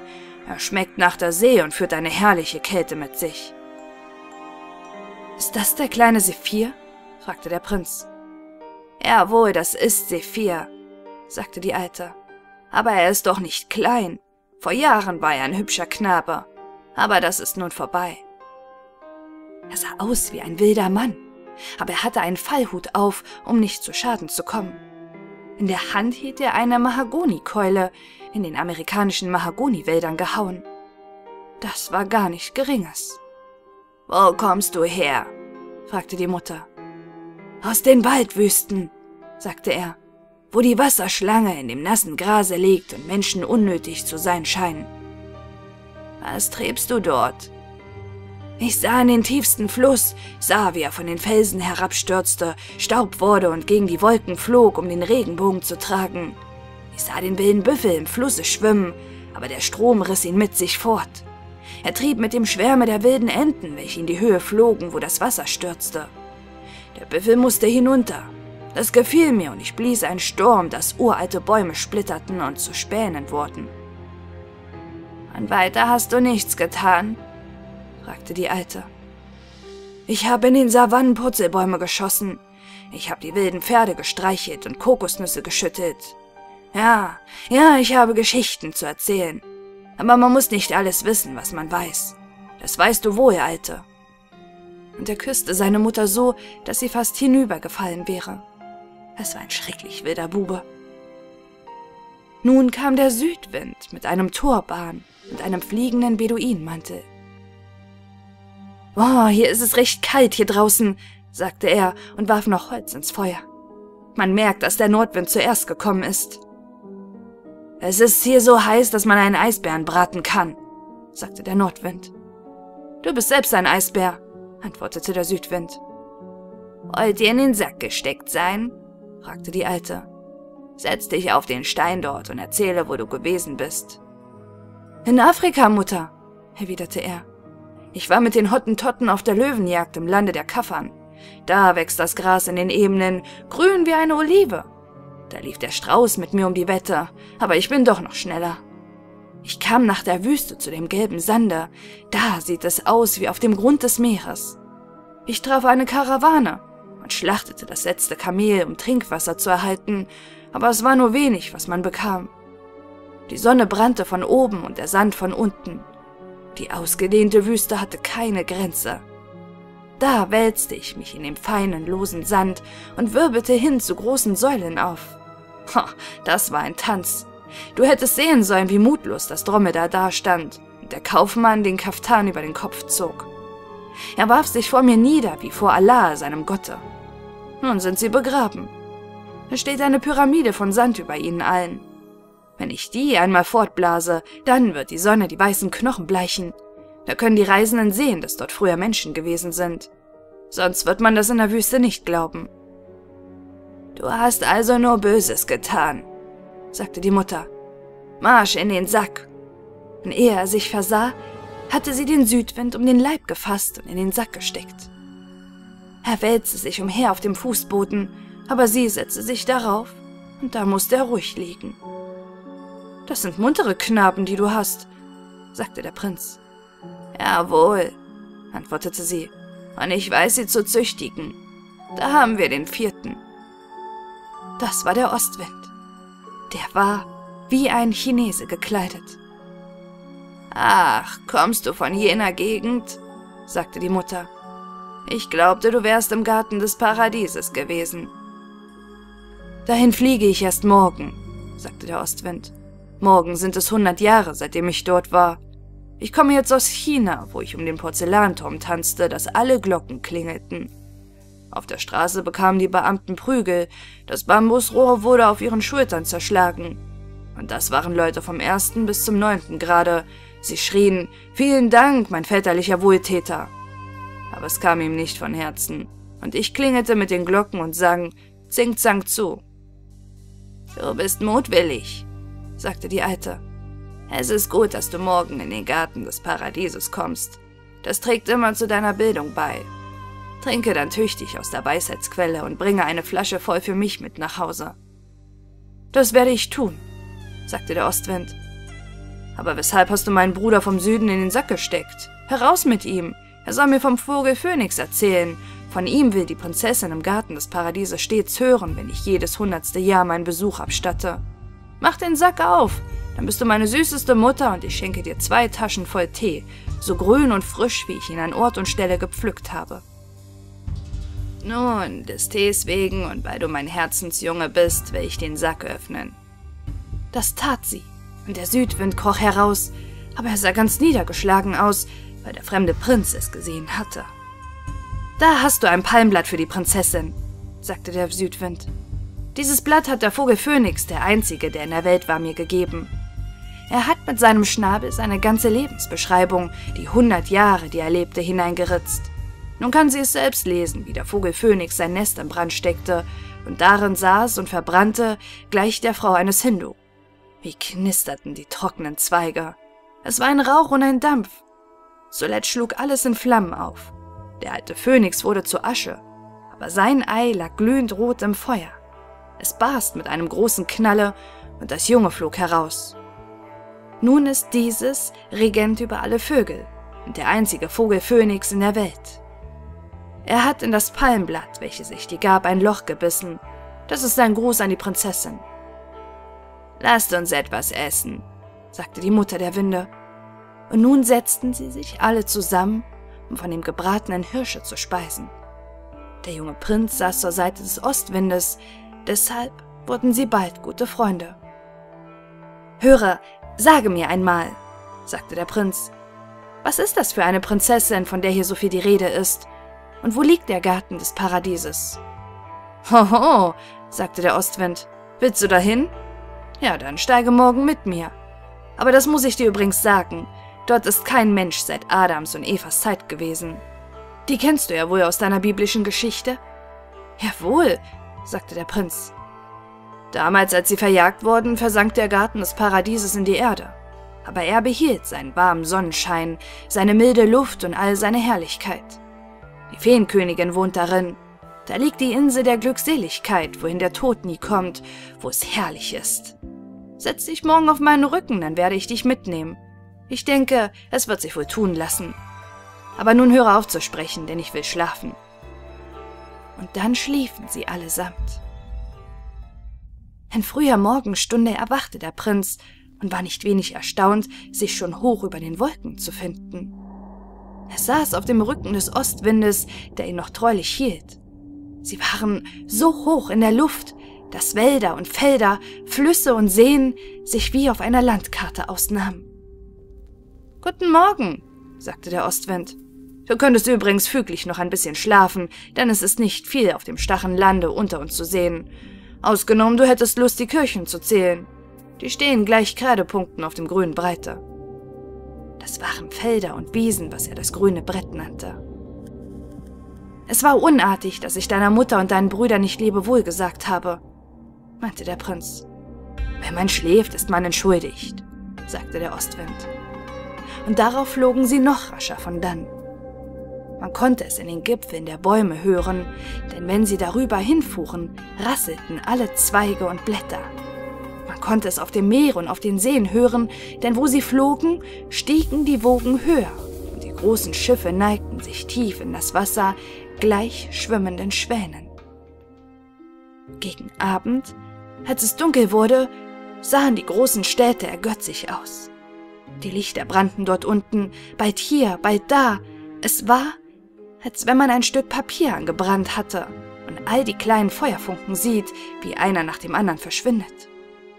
Und der Prinz klatschte in die Hände.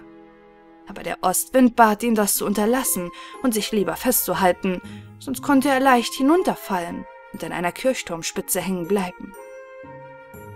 Der Adler in den dunklen Wäldern flog zwar leicht, doch der Ostwind flog noch leichter. Der Kosak jagte auf seinem kleinen Pferde schnell über die Ebene dahin, doch der Prinz jagte noch schneller. Jetzt kannst du den Himalaya sehen, sagte der Ostwind. Das ist der höchste Berg in Asien. Nun werden wir bald nach dem Garten des Paradieses gelangen.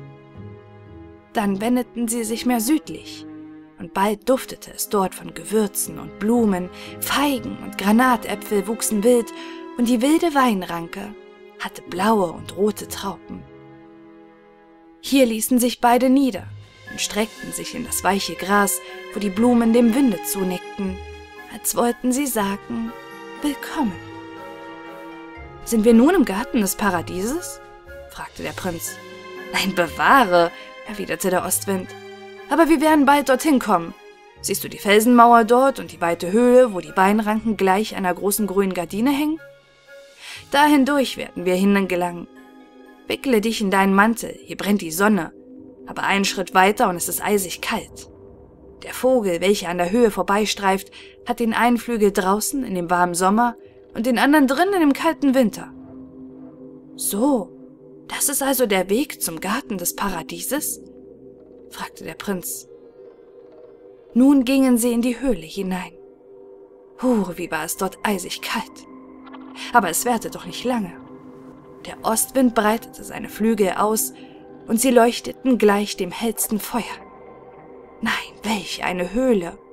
Die großen Steinblöcke, von denen das Wasser träufelte, hingen über ihnen in den wunderbarsten Gestalten. Bald war es da so enge, dass sie auf Händen und Füßen kriechen mussten, bald so hoch und ausgedehnt wie in der freien Luft. Es sah aus wie eine Grabeskapelle mit stummen Orgelpfeifen und versteinerten Orgeln. Wir gehen wohl den Weg des Todes zum Garten des Paradieses? fragte der Prinz. Aber der Ostwind antwortete keine Silbe, zeigte nur vorwärts, das schönste blaue Licht erstrahlte ihnen entgegen. Die Steinblöcke über ihnen wurden mehr und mehr ein Nebel, der zuletzt wie eine weiße Wolke im Mondscheine aussah. Nun waren sie in der herrlichsten milden Luft so frisch wie auf den Bergen, so duftend wie bei den Rosen des Tales. Da strömte ein Fluss, so klar wie die Luft selbst, und die Fische waren wie Silber und Gold, purpurrote Aale, die bei jeder Bewegung blaue Feuerfunken sprühten, spielten unten im Wasser, und die breiten, nixen Blumenblätter hatten das Regenbogensfeuer. Die Blume selbst war eine rot-gelb brennende Flamme, der das Wasser Nahrung gab, gleichwie das Öl die Lampe beständig im Brennen erhalt. Eine feste Brücke von Marmor, aber so künstlich und sein ausgeschnitten, als wäre sie von Spitzen und Glasperlen gemacht, führte über das Wasser zur Insel der Glückseligkeit, wo der Garten des Paradieses blühte. Der Ostwind nahm den Prinzen auf seine Arme und trug ihn hinüber. Da sangen die Blumen und Blätter die schönsten Lieder aus seiner Kindheit, aber so lieblich schwellend, wie keine menschliche Stimme hier singen kann. Waren es Palmbäume oder riesengroße Wasserpflanzen, die hier wuchsen? So saftige und große Bäume hatte der Prinz früher nie gesehen.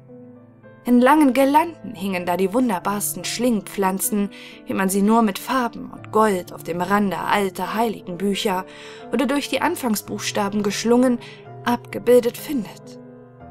Das waren die seltsamsten Zusammensetzungen von Vögeln, Blumen und Ranken. Dicht daneben im Grase stand ein Schwarm Pfauen mit entfalteten, strahlenden Schweifen. Ja, das war wirklich so. Als aber der Prinz daran rührte, merkte er, dass es keine Tiere, sondern Pflanzen waren. Es waren die großen Kletten, die hier wie des Pfaues herrlicher Schweif strahlten. Der Löwe und der Tiger sprangen wie geschmeidige Katzen zwischen den grünen Hecken hin, die wie die Blumen des Olivenbaumes dufteten. Und der Löwe und der Tiger waren zahm. Die wilde Waldtaube glänzte wie die schönste Perle und schlug mit ihren Flügeln den Löwen an die Mähne. Und die Antilope, die sonst so scheu ist, stand daneben und nickte mit dem Kopfe, als ob sie auch mitspeisen wollte. Nun kam die Fee des Paradieses. Ihre Kleider strahlten wie die Sonne, und ihr Antlitz war heiter wie das einer frohen Mutter, wenn sie recht glücklich über ihr Kind ist. Sie war jung und schön, und die hübschesten Mädchen, jede mit einem leuchtenden Stern im Haare, folgten ihr. Der Ostwind gab ihr das beschriebene Blatt vom Vogel Phönix, und ihre Augen funkelten vor Freude. Sie nahm den Prinzen bei der Hand und führte ihn in ihr Schloss hinein, wo die Wände Farben hatten wie das prächtigste Tulpenblatt, wenn es gegen die Sonne gehalten wird. Die Decke selbst war eine große, strahlende Blume, und je mehr man zu derselben hinaufsah, desto tiefer erschien ihr Kelch. Der Prinz trat an das Fenster und erblickte durch eine der Scheiben. Da sah er den Baum der Erkenntnis mit der Schlange. Und Adam und Eva standen dicht dabei. Sind die nicht verjagt? fragte er. Die Fee lächelte und erklärte ihm, dass die Zeit auf jeder Scheibe ihr Bild eingebrannt habe, aber nicht, wie man es zu sehen gewohnt. Nein, es war Leben darin. Die Blätter der Bäume bewegten sich, die Menschen kamen und gingen wie in einem Spiegelbilde. Und er sah durch eine andere Scheibe. Da war Jakobs Traum, wo die Leiter bis in den Himmel reichte, und die Engel mit großen Schwingen schwebten auf und nieder. Ja, alles, was an dieser Welt geschehen war, lebte und bewegte sich in den Glasscheiben. So künstliche Gemälde konnte nur die Zeit einbrennen. Die Fee lächelte und führte ihn in einen großen hohen Saal, dessen Wände transparent erschienen. Hier waren Porträts, das eine Gesicht schöner als das andere. Man sah Millionen Glückliche, die lächelten und sangen, so dass es in eine Melodie zusammenfloss. Die obersten waren so klein, dass sie kleiner erschienen wie die kleinste Rosenknospe, wenn sie wie ein Punkt auf das Papier gezeichnet wird. Mitten im Saale stand ein großer Baum mit hängenden, üppigen Zweigen. Goldene Äpfel hingen wie Apfelsinen zwischen den grünen Blättern. Das war der Baum der Erkenntnis, von dessen Frucht Adam und Eva gegessen hatten. Von jedem Blatte tröpfelte ein glänzender roter Tautropfen. Es war, als ob der Baum blutige Tränen weinte. Lass uns in das Boot steigen, sagte die Fee. Da wollen wir Erfrischung auf dem schwelenden Wasser genießen. Das Boot schaukelt und kommt nicht von der Stelle, aber alle Länder der Welt gleiten an unseren Augen vorüber. Und es war wunderbar anzusehen, wie sich die ganze Küste bewegte. Da kamen die hohen, schneebedeckten Alpen mit Wolken und schwarzen Tannen. Das Horn erklang tief wehmütig und der Hirt jodelte lustig im Tale. Dann bogen die Bananenbäume ihre langen hängenden Zweige über das Boot nieder. Schwarze Schwäne schwammen auf dem Wasser, und die seltsamsten Tiere und Blumen zeigten sich am Ufer. Das war Neuholland, der fünfte Weltteil, der mit einer Aussicht auf die blauen Berge vorbeiglitt. Man hörte den Gesang der Priester und sah den Tanz der Wilden zum Schalle der Trommeln und der knöchernen Trompeten. Ägyptens Pyramiden, die bis in die Wolken ragten, umgestürzte Säulen und Sphinxe, halb im Sande begraben, segelten ebenfalls vorbei. Die Nordlichter leuchteten über ausgebrannten Vulkanen des Nordens. Das war ein Feuerwerk, was niemand nachmachen konnte. Der Prinz war sehr glücklich. Ja, er sah noch hundertmal mehr, als wir hier erzählen. Und ich kann immer hier bleiben? fragte er. Das kommt auf dich selbst an, erwiderte die Fee. Wenn du nicht wie Adam dich gelüsten lassest, das Verbotene zu tun, so kannst du immer hier bleiben. Ich werde die Äpfel auf dem Erkenntnisbaume nicht anrühren, sagte der Prinz. Hier sind ja tausende von Früchten, ebenso schön wie die. Prüfe dich selbst. Und bist du nicht stark genug, so gehe mit dem Ostwinde, der dich herbrachte.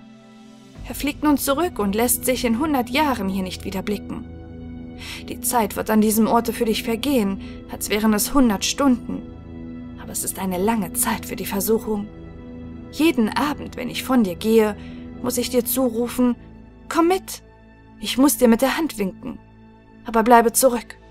Gehe nicht mit, denn sonst wird mit jedem Schritte deine Sehnsucht größer werden. Du kommst dann in den Saal, wo der Baum der Erkenntnis wächst.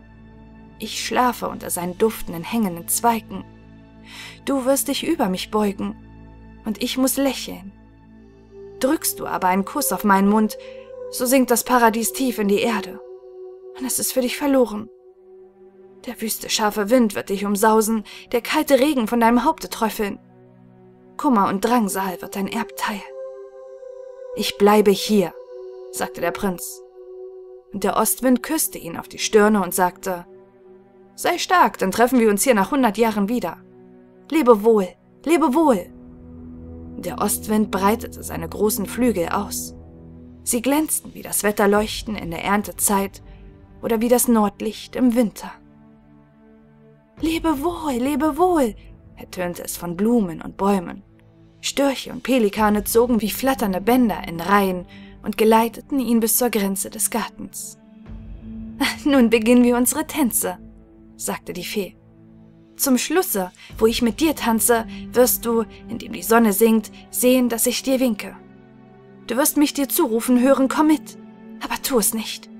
Hundert Jahre lang muss ich es jeden Abend wiederholen. Jedes Mal, wenn die Zeit vorbei ist, gewinnst du mehr Kraft. Zuletzt denkst du gar nicht mehr daran. Heute Abend ist es zum ersten Male. Nun habe ich dich gewarnt und die Fee führte ihn in einen großen Saal von weißen, durchsichtigen Lilien. Die gelben Staubfäden in jeder Blume bildeten eine kleine Goldtafel, die mit Saitenlaut und Flötenton erklang. Die schönsten Mädchen, schwebend und schlank, in wallenden Flor gekleidet, so dass man die reizenden Glieder sah, schwebten im Tanze und sangen, wie herrlich es sei zu leben und dass sie nie sterben würden dass der Garten des Paradieses ewig blühen würde. Und die Sonne ging unter. Der ganze Himmel wurde ein Gold, welches den Lilien den Schein der herrlichsten Rosen gab. Und der Prinz trank von dem schäumenden Weine, welchen die Mädchen ihm reichten, und fühlte eine Glückseligkeit wie nie zuvor. Er sah, wie der Hintergrund des Saales sich öffnete, und der Baum der Erkenntnis stand in einem Glanze, der seine Augen blendete. Der Gesang dort war weich und lieblich, wie seiner Mutterstimme, und es war, als ob sie sänge, Mein Kind, mein geliebtes Kind. Da winkte die Fee und rief so liebevoll, Komm mit, komm mit. Und er stürzte ihr entgegen, vergaß sein Versprechen, vergaß es schon am ersten Abend, und sie winkte und lächelte. Der Duft, der gewürzige Duft ringsumher wurde stärker, und die Harfen ertönten weit lieblicher. Und es war, als ob die Millionen lächelnder Köpfe im Saale, wo der Baum wuchs, nickten und sängen. Alles muss man kennen. Der Mensch ist der Herr der Erde. Und es waren keine blutigen Tränen mehr, welche von den Blättern des Erkenntnisbaumes fielen. Es waren rote, funkelnde Sterne, die er zu erblicken glaubte. Komm mit, komm mit, lauteten die bebenden Töne und bei jedem Schritte brannten des Prinzen Wangen heißer, bewegte sich sein Blut rascher. Ich muss, sagte er, es ist ja keine Sünde, kann keine sein, weshalb nicht der Schönheit und der Freude folgen. Ich will sie schlafen sehen, es ist ja nichts verloren, wenn ich es nur unterlasse, sie zu küssen. Und küssen werde ich sie nicht. Ich bin stark, ich habe einen festen Willen. Und die Fee warf ihren strahlenden Anzug ab, bog die Zweige zurück und nach einem Augenblicke war sie darin verborgen. Noch habe ich nicht gesündigt, sagte der Prinz, und will es auch nicht. Und dann bog er die Zweige zur Seite. Da schlief sie bereits, schön wie nur die Fee im Garten des Paradies sein kann. Sie lächelte im Traume, er bog sich über sie nieder und sah zwischen ihren Augenlidern Tränen beben. Weinst du über mich? flüsterte er. Weine nicht, du herrliches Weib. Nun begreife ich erst des Paradieses Glück. Es durchströmt mein Blut, meine Gedanken, die Kraft des Cherubs und des ewigen Lebens fühle ich in meinen irdischen Körper. Möge es ewig Nacht für mich werden. Eine Minute wie diese ist Reichtum genug. Und er küsste die Tränen aus ihren Augen. Sein Mund berührte den ihrigen. Da krachte ein Donnerschlag, so tief und schrecklich, wie niemand ihn je gehört. Und alles stürzte zusammen. Die schöne Fee, das blühende Paradies sank und sank tiefer und tiefer. Der Prinz sah es in die schwarze Nacht versinken, wie ein kleiner leuchtender Stern strahlte es aus weiter Ferne. Todeskälte durchschauderte sein Körper. Er schloss seine Augen und lag lange wie tot. Der kalte Regen fiel ihm in das Gesicht, und der scharfe Wind blies um sein Haupt. Da kehrten seine Sinne zurück. Was habe ich getan? seufzte er. Ich habe gesündigt wie Adam, gesündigt, so dass das Paradies tief versunken ist. Und er öffnete seine Augen, den Stern in der Ferne, den Stern, der wie das gesunkene Paradies funkelte, sah er noch. Es war der Morgenstern am Himmel. Er erhob sich und war in dem großen Walde dicht bei der Höhle der Winde. Und die Mutter der Winde saß an einer Seite. Sie sah böse aus und erhob ihren Arm in die Luft. Schon den ersten Abend, sagte sie. Das dachte ich wohl. Ja, wärest du mein Sohn, so müsstest du in den Sack. Da soll er hinein, sagte der Tod. Das war ein starker alter Mann mit einer Sense in der Hand und mit großen schwarzen Schwingen. In den Sarg soll er gelegt werden. Aber jetzt noch nicht. Ich zeichne ihn nur auf, lasse ihn dann noch eine Weile in der Welt umherwandern, seine Sünde sühnen, gut und besser werden. Ich komme aber einmal. Wenn er es gerade am wenigsten erwartet, stecke ich ihn in den schwarzen Sarg, setze ihn auf meinem Kopf und fliege gegen den Stern empor. Auch dort blüht des Paradieses Garten, und ist er gut und fromm, so wird er hineintreten. Sind aber seine Gedanken böse und ist das Herz noch voll Sünde, so sinkt er mit dem Sarge tiefer als das Paradies gesunken. Und nur jedes tausendste Jahr hole ich ihn wieder, damit er noch tiefer sinke oder auf den Stern gelange, den funkelnden Stern dort oben.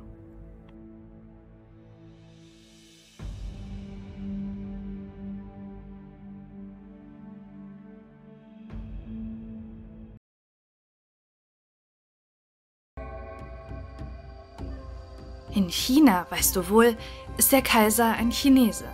Und alle, die er um sich hat, sind auch Chinesen. Es ist nun viele Jahre her, aber eben deshalb ist es der Mühe wert, die Geschichte zu hören, ehe sie vergessen wird. Des Kaisers Schloss war das prächtigste in der ganzen Welt, ganz und gar von feinem Porzellan, sehr kostbar. Aber so spröde, so misslich daran zu rühren, dass man sich sehr in Acht nehmen musste. Im Garten sah man die wunderbarsten Blumen, und an die prächtigsten waren Silberglocken gebunden, welche klangen, damit man nicht vorbeigehen möchte, ohne die Blume zu bemerken. Ja, alles war in des Kaisers Garten fein ausspekuliert. Und er streckte sich so weit, dass der Gärtner selbst das Ende desselben nicht kannte. Ging man immer weiter, so kam man in den herrlichsten Wald mit hohen Bäumen und tiefen Seen. Der Wald ging gerade hinunter bis zum Meere, welches blau und tief war. Große Schiffe konnten bis unter die Zweige der Bäume hinsegeln, und in diesen wohnte eine Nachtigall, die so herrlich sang, dass selbst der arme Fischer, der doch viel anderes zu tun hatte, still hielt und horchte, wenn er des Nachts ausgefahren war, um das Fischnetz auszuwerfen, und dann die Nachtigall hörte. Ach Gott, wie ist das schön, sagte er, aber er musste auf seine Sachen acht geben und vergaß dabei den Vogel. Doch wenn dieser in der nächsten Nacht wieder sang und der Fischer dorthin kam, sagte er dasselbe. Ach Gott, wie ist das schön.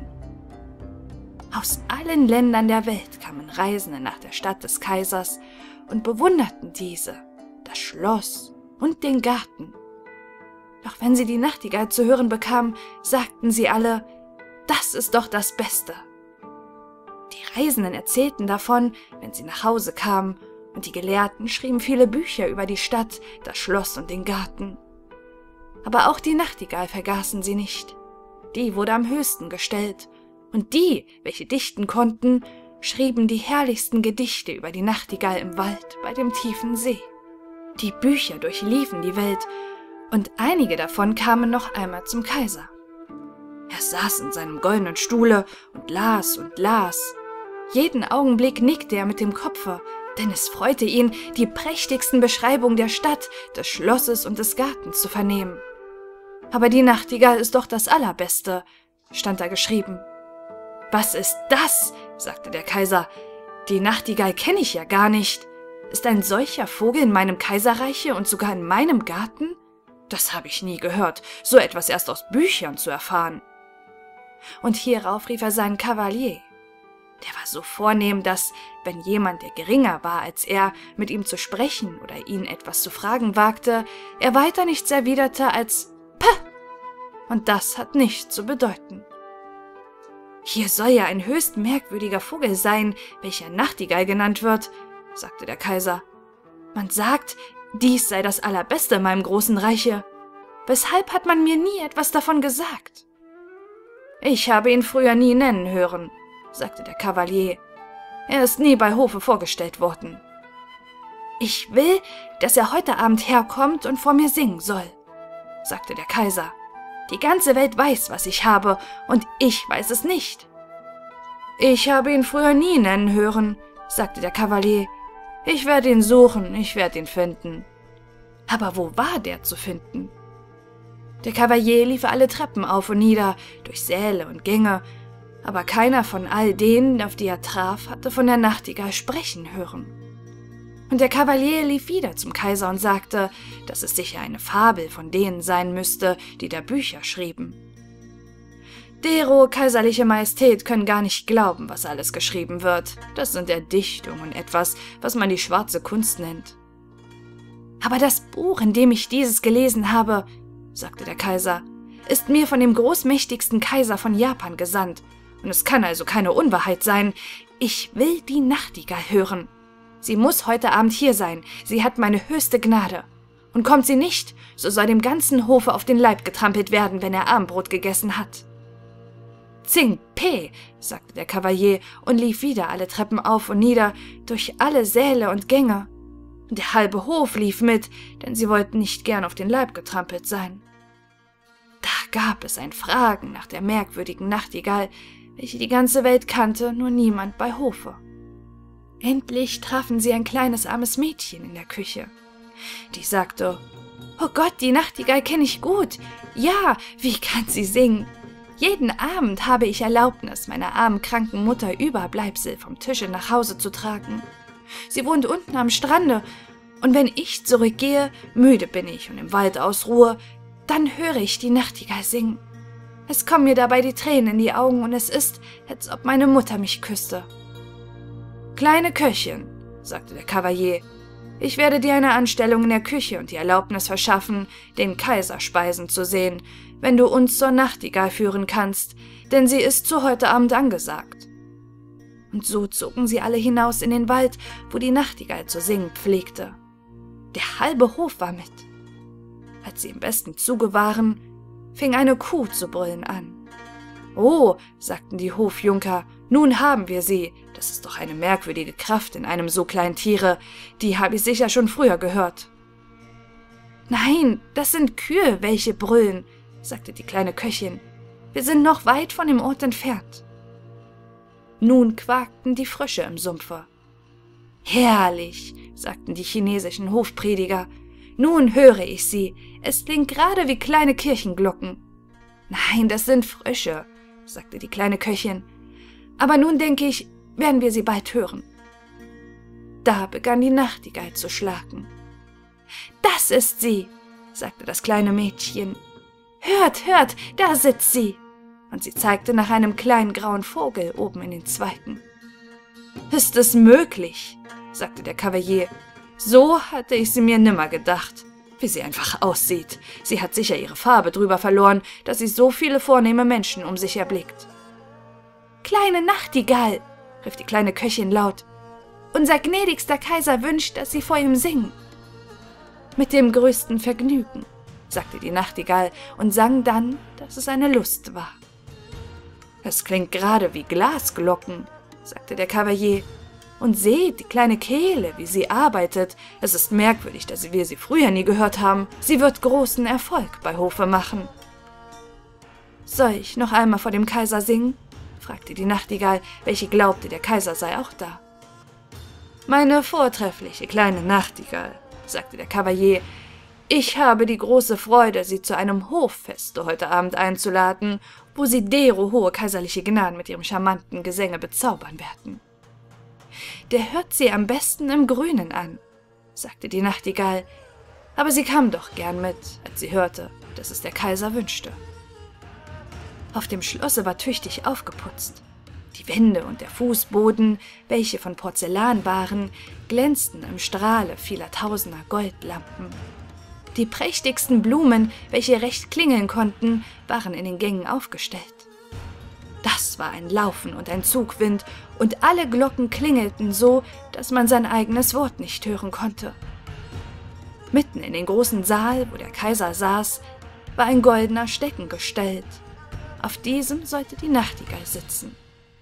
Der ganze Hof war da, und die kleine Köchin hatte die Erlaubnis erhalten, hinter der Tür zu stehen, da sie nun den Titel einer wirklichen Hofköchin bekommen hatte. Alle waren in ihrem größten Putz, und alle sahen nach dem kleinen grauen Vogel, dem der Kaiser zunickte. Die Nachtigall sang so herrlich, dass dem Kaiser die Tränen in die Augen traten und ihm über die Wangen herniederfielen. Da sang die Nachtigall noch schöner, das ging recht zu Herzen. Der Kaiser war so froh, dass er sagte, die Nachtigall solle seinen goldenen Pantoffel um den Hals zu tragen bekommen. Aber die Nachtigall dankte, sie habe schon Belohnung genug erhalten. Ich habe Tränen in des Kaisers Augen gesehen, das ist mir der reichste Schatz. Eines Kaisers Tränen haben eine besondere Kraft. Gott weiß es. Ich bin genug belohnt. Darauf sang sie wieder mit ihrer süßen, herrlichen Stimme. Das ist die liebenswürdigste Koketterie, die ich kenne, sagten die Damen ringsumher, und dann nahmen sie Wasser in den Mund, um zu glucksen, wenn jemand mit ihnen spräche. Sie glaubten dann auch Nachtigallen zu sein. Ja, die Lakaien und Kammermädchen ließen melden, dass auch sie zufrieden seien. Das will viel sagen, denn sie sind am schwersten zu befriedigen. Kurz, die Nachtigall machte wahrlich Glück. Sie sollte nun bei Hofe bleiben, ihr eigenes Bauer und die Freiheit haben, zweimal des Tages und einmal des Nachts herausspazieren. Sie bekam dann zwölf Diener mit, welche ihr alle ein Seidenband um das Bein geschlungen hatten, an dem sie sie recht festhielten. Es war durchaus kein Vergnügen bei einem solchen Ausfluge. Die ganze Stadt sprach von dem merkwürdigen Vogel, und begegneten sich zwei, so sagte der eine nichts anderes als Nacht und der andere Gall. Und ersäuften sie und verstanden einander. Ja, elf Hökerkinder wurden nach ihr benannt, aber nicht eins von ihnen hatte einen Ton in der Kehle. Eines Tages erhielt der Kaiser ein großes Paket, worauf geschrieben stand Die Nachtigall. Da haben wir nun ein neues Buch über unseren berühmten Vogel, sagte der Kaiser. Aber es war kein Buch, sondern ein kleines Kunstwerk, welches in einer Schachtel lag. Eine künstliche Nachtigall, die der Lebenden gleichen sollte, allein überall mit Diamanten, Rubinen und Saphiren besetzt war. Sobald man den Kunstvogel aufzog, konnte er eins der Stücke, die der wirkliche Vogel sang, singen. Und dann bewegte sich der Schweif auf und nieder und glänzte von Silber und Gold. Um den Hals hing ein kleines Band. Darauf stand geschrieben des Kaisers von Japan Nachtigall ist arm gegen die des Kaisers von China. Das ist herrlich, sagten alle, und der, welcher den künstlichen Vogel gebracht hatte, erhielt sogleich den Titel kaiserlicher Obernachtigallbringer. Nun müssen sie zusammen singen. Was wird das für ein Duett werden? Und so mussten sie zusammen singen. Aber es wollte nicht recht passen, denn die wirkliche Nachtigall sang auf ihre Weise und der Kunstvogel ging auf Walzen. Der hat keine Schuld, sagte der Spielmeister. Der ist besonders taktfest und ganz nach meiner Schule. Nun sollte der Kunstvogel allein singen. Er machte ebenso viel Glück als der wirkliche. Und dann war er viel niedlicher anzusehen. Er glänzte wie Armbänder und Busennadeln. 33 Mal sang er ein und dasselbe Stück und war doch nicht müde. Die Leute hätten ihn gern wieder aufs Neue gehört, aber der Kaiser meinte, dass nun auch die lebendige Nachtigall etwas singen solle. Aber wo war die? Niemand hatte bemerkt, dass sie aus dem offenen Fenster zu ihren grünen Wäldern fortgeflogen war. Aber was ist denn das? sagte der Kaiser. Und alle Hofleute schalten und meinten, dass die Nachtigall ein höchst undankbares Tier sei. Den besten Vogel haben wir doch, sagten sie. Und so musste denn der Kunstvogel wieder singen. Und das war das 34. Mal, dass sie dasselbe Stück zu hören bekamen. Sie konnten es dessen ungeachtet doch nicht auswendig. Es war gar zu schwer. Und der Spielmeister lobte den Vogel außerordentlich, ja, er versicherte, dass er besser als eine Nachtigall sei, nicht nur was die Kleider und die vielen herrlichen Diamanten beträfe, sondern auch innerlich. Denn sehen Sie, meine Herrschaften, der Kaiser vor allen, bei der wirklichen Nachtigall kann man nie berechnen, was da kommen wird. Aber bei dem Kunstvogel ist alles bestimmt. Man kann es erklären, man kann ihn öffnen und dem Menschen begreiflich machen, wie die Walzen liegen, wie sie gehen, wie das eine aus dem anderen folgt.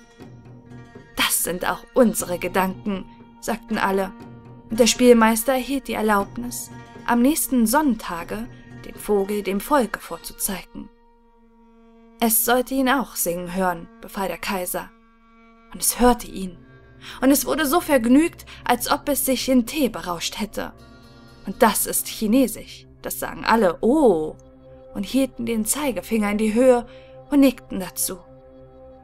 Die armen Fischer jedoch, welche die wirkliche Nachtigall gehört hatten, sagten, das klingt hübsch genug, die Melodien gleichen sich auch, aber es fehlt etwas, ich weiß nicht was. Die wirkliche Nachtigall wurde aus dem Lande und Reiche verwiesen. Der Kunstvogel hatte seinen Platz auf einem Seidenkissen dicht bei des Kaisers Bette.